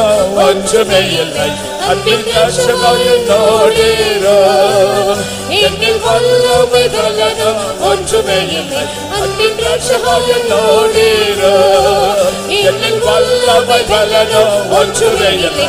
அன்பின் ரட்சகோ என்னோடீரோ என்னில் வல்லமை பலனோ ஒன்றுமே இல்லை. அன்பின் ரட்சகோ என்னோடீரோ என்னில் வல்லமை பலனோ ஒன்றுமே இல்லை அன்பின் ரட்சகோ என்னோடீரோ என்னில் வல்லமை பலனோ ஒன்றுமே இல்லை அன்பின் ரட்சகர் என்னோடீரோ என்னில் வல்லமை பலனோ ஒன்றுமே இல்லை அன்பின் ரட்சகர் என்னோடீரோ என்னில் வல்லமை பலனோ ஒன்றுமில்லை அன்பின் ரட்சகா என்னோடிரோ. என்னில் வல்லமை பலனோ ஒன்றுமே இல்லை அன்பின் ரட்சகா என்னோடிரோ என்னில் வல்லமை பலனோ ஒன்றுமே இல்லை அன்பின் ரட்சகா என்னோடிரோ ஐயா ஜனோ பெஷத்தே ஹூதாரா மோகரா நீதர மலக ரிடிகர மலஹரி அத்துன மனக ஜெகநாய்ஷ் நித்தர மலக துரபெக நம ரமஹரி அத்துன மனக ஜெகநாய்ஷ் கார மௌதா லார்ட் தகப்பனே எங்களோடு கூட இருமையா ஆமென் ஆமென் ஹalleluya நம்மோடு கூட நம்முடைய ஆண்டவர் கூட இருக்கும்போது அவருடைய பலன் அவருடைய ஜெயம் எல்லாம் நமக்குரியது. அவர் நம்மோடு கூட இருந்து நம்மை நடத்தும் போது அந்த நாடின துறைமுகத்துக்கு நிச்சயமாய் நாம் போய் சேருவோம். புதிய எருசலேம் சியோனிலே நாம் நிச்சயமாய் நாம் அவரோடு கூட காணப்படுவோம்.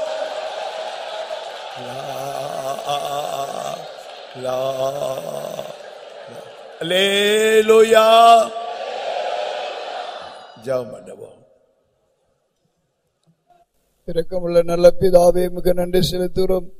கடந்த நாள் நம் மதுரப்பட்ட நேசித்து அருமையான வேதபாட கூட்டத்தை எங்களுக்கு கொடுத்தீர் ஆண்டவரே. நல்ல பிதாவே நாங்கள் நாடின துறைமுகத்தை அடையும்படியாக எங்களை வழி காமிச்சு கொடுத்து தயவுக்காக ஜபிக்கிறோம். கத்தா இந்த நீ இந்த நாட்கள் நீ பேசின எல்லா வாத சத்தியங்களுக்காக ஜபிக்கிறோம். விசேஷமாய் கத்தாவே நாங்கள் தீட்டுப்படாதபடிக்கு எல்லா விதங்களை பாதுகாத்து கொள்ள உதவி செய்யும் அந்த மேன்மையான சத்தியத்தை அறிந்த மாண்டவரே. சத்திய கீழ்ப்பணி ஜீவியத்தை பாதுகாத்து கொள்ள உதவி செய்யும் ஆண்டவரே. இறக்கமுள்ள பிதாவே ஸ்தோத்திரம் சோத்து நடத்துகிற எல்லா வழிகளுக்கு சோத்திரம் வழிகளில் கத்தாவே எந்த விதமாக விபத்தில் வந்தாலும் உடைய கிருபை கூட இருக்கிறபடி நாள் ஜபிக்கிறோம். நல்ல பிதாவே இந்த வேலையில கத்தாவே சத்தியங்களை கேட்க உதவி செய்தப்பா இந்த சத்தியங்கள் கிட்ட எல்லா ஜனங்களுடைய கரங்களும் ஒப்படைக்கிறோம். மாலை வேலை எல்லாரும் உணர்வடை உதவி செய்தபடி நாள் ஜபிக்கிறோம். கேட்ட சத்தியப்படி ஜீவிக்க எல்லாரும் சகாயம் பண்ண ராஜா. இந்த வேலையில கேத்தாவுடைய கிருவை எங்களுக்கு உதவி செய்யும்படியாக ஜபிக்கிறோம் ஆண்டவரே. நான் நாடின துறைமுகத்தை ஒழுங்கா போய் சேர வேண்டும் ஆண்டவரே. பல தடைகள் இருந்த ஆண்டு பல விதங்களை தீட்டுப்படுத்தி இருக்கிறோம் ஆண்டு பல விதங்களை ஒழுங்கினமா இருந்திருக்கு எல்லாம் மன்னிக்கும்படியாக ஜபிக்கிறோம். கர்த்தாவே இந்த மாலை வேலை உடைய இறக்கு கூட இருக்கும்படியாக ஜபிக்கிறையா நல்ல பிதாவே சத்தி தருவி சத்தியங்களை விடுதலையாக்கும்னு சொன்னீரே. அருமையான சத்தியனை கேட்கவும் நான் விடுதலையாக்க உதவி செய்தீர் ஆண்டவரே. கத்தாவே உடைய கருவி கொண்டு கத்தாவே பாதுகாத்துக் கொள்ளும். உடைய மகனை நான் அநேக ஆயிரங்களுக்கு எடுத்து பிரயோஜனப்படுத்தும் ஆண்டவரே. ஆயிரங்களுக்கு ஆசீர்வாதமா இருக்க வேண்டும் ஆண்டவரே. கத்தா நாள் நடக்கிற வேதப்படுத்தி பொறுப்பிட்டு ஆசீர்வதியும்.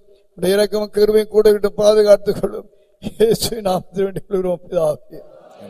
Praise the Lord, praise praise Lord, praise the கத்ரா இயேசு கிறிஸ்துடைய கிருவையும் பிதாவாகிய தேவனுடைய அன்பும் பரிசுத்த ஆவியானவருடைய அந்யோனி ஐக்கியமும் காவலும் நம் அனைவரோடு கூட எல்லா பரிசுத்தவான்களோடு கூட கத்ரா இயேசு கிறிஸ்துவின் வருகை மட்டும் கூட இருப்பதாக. Hallelujah hallelujah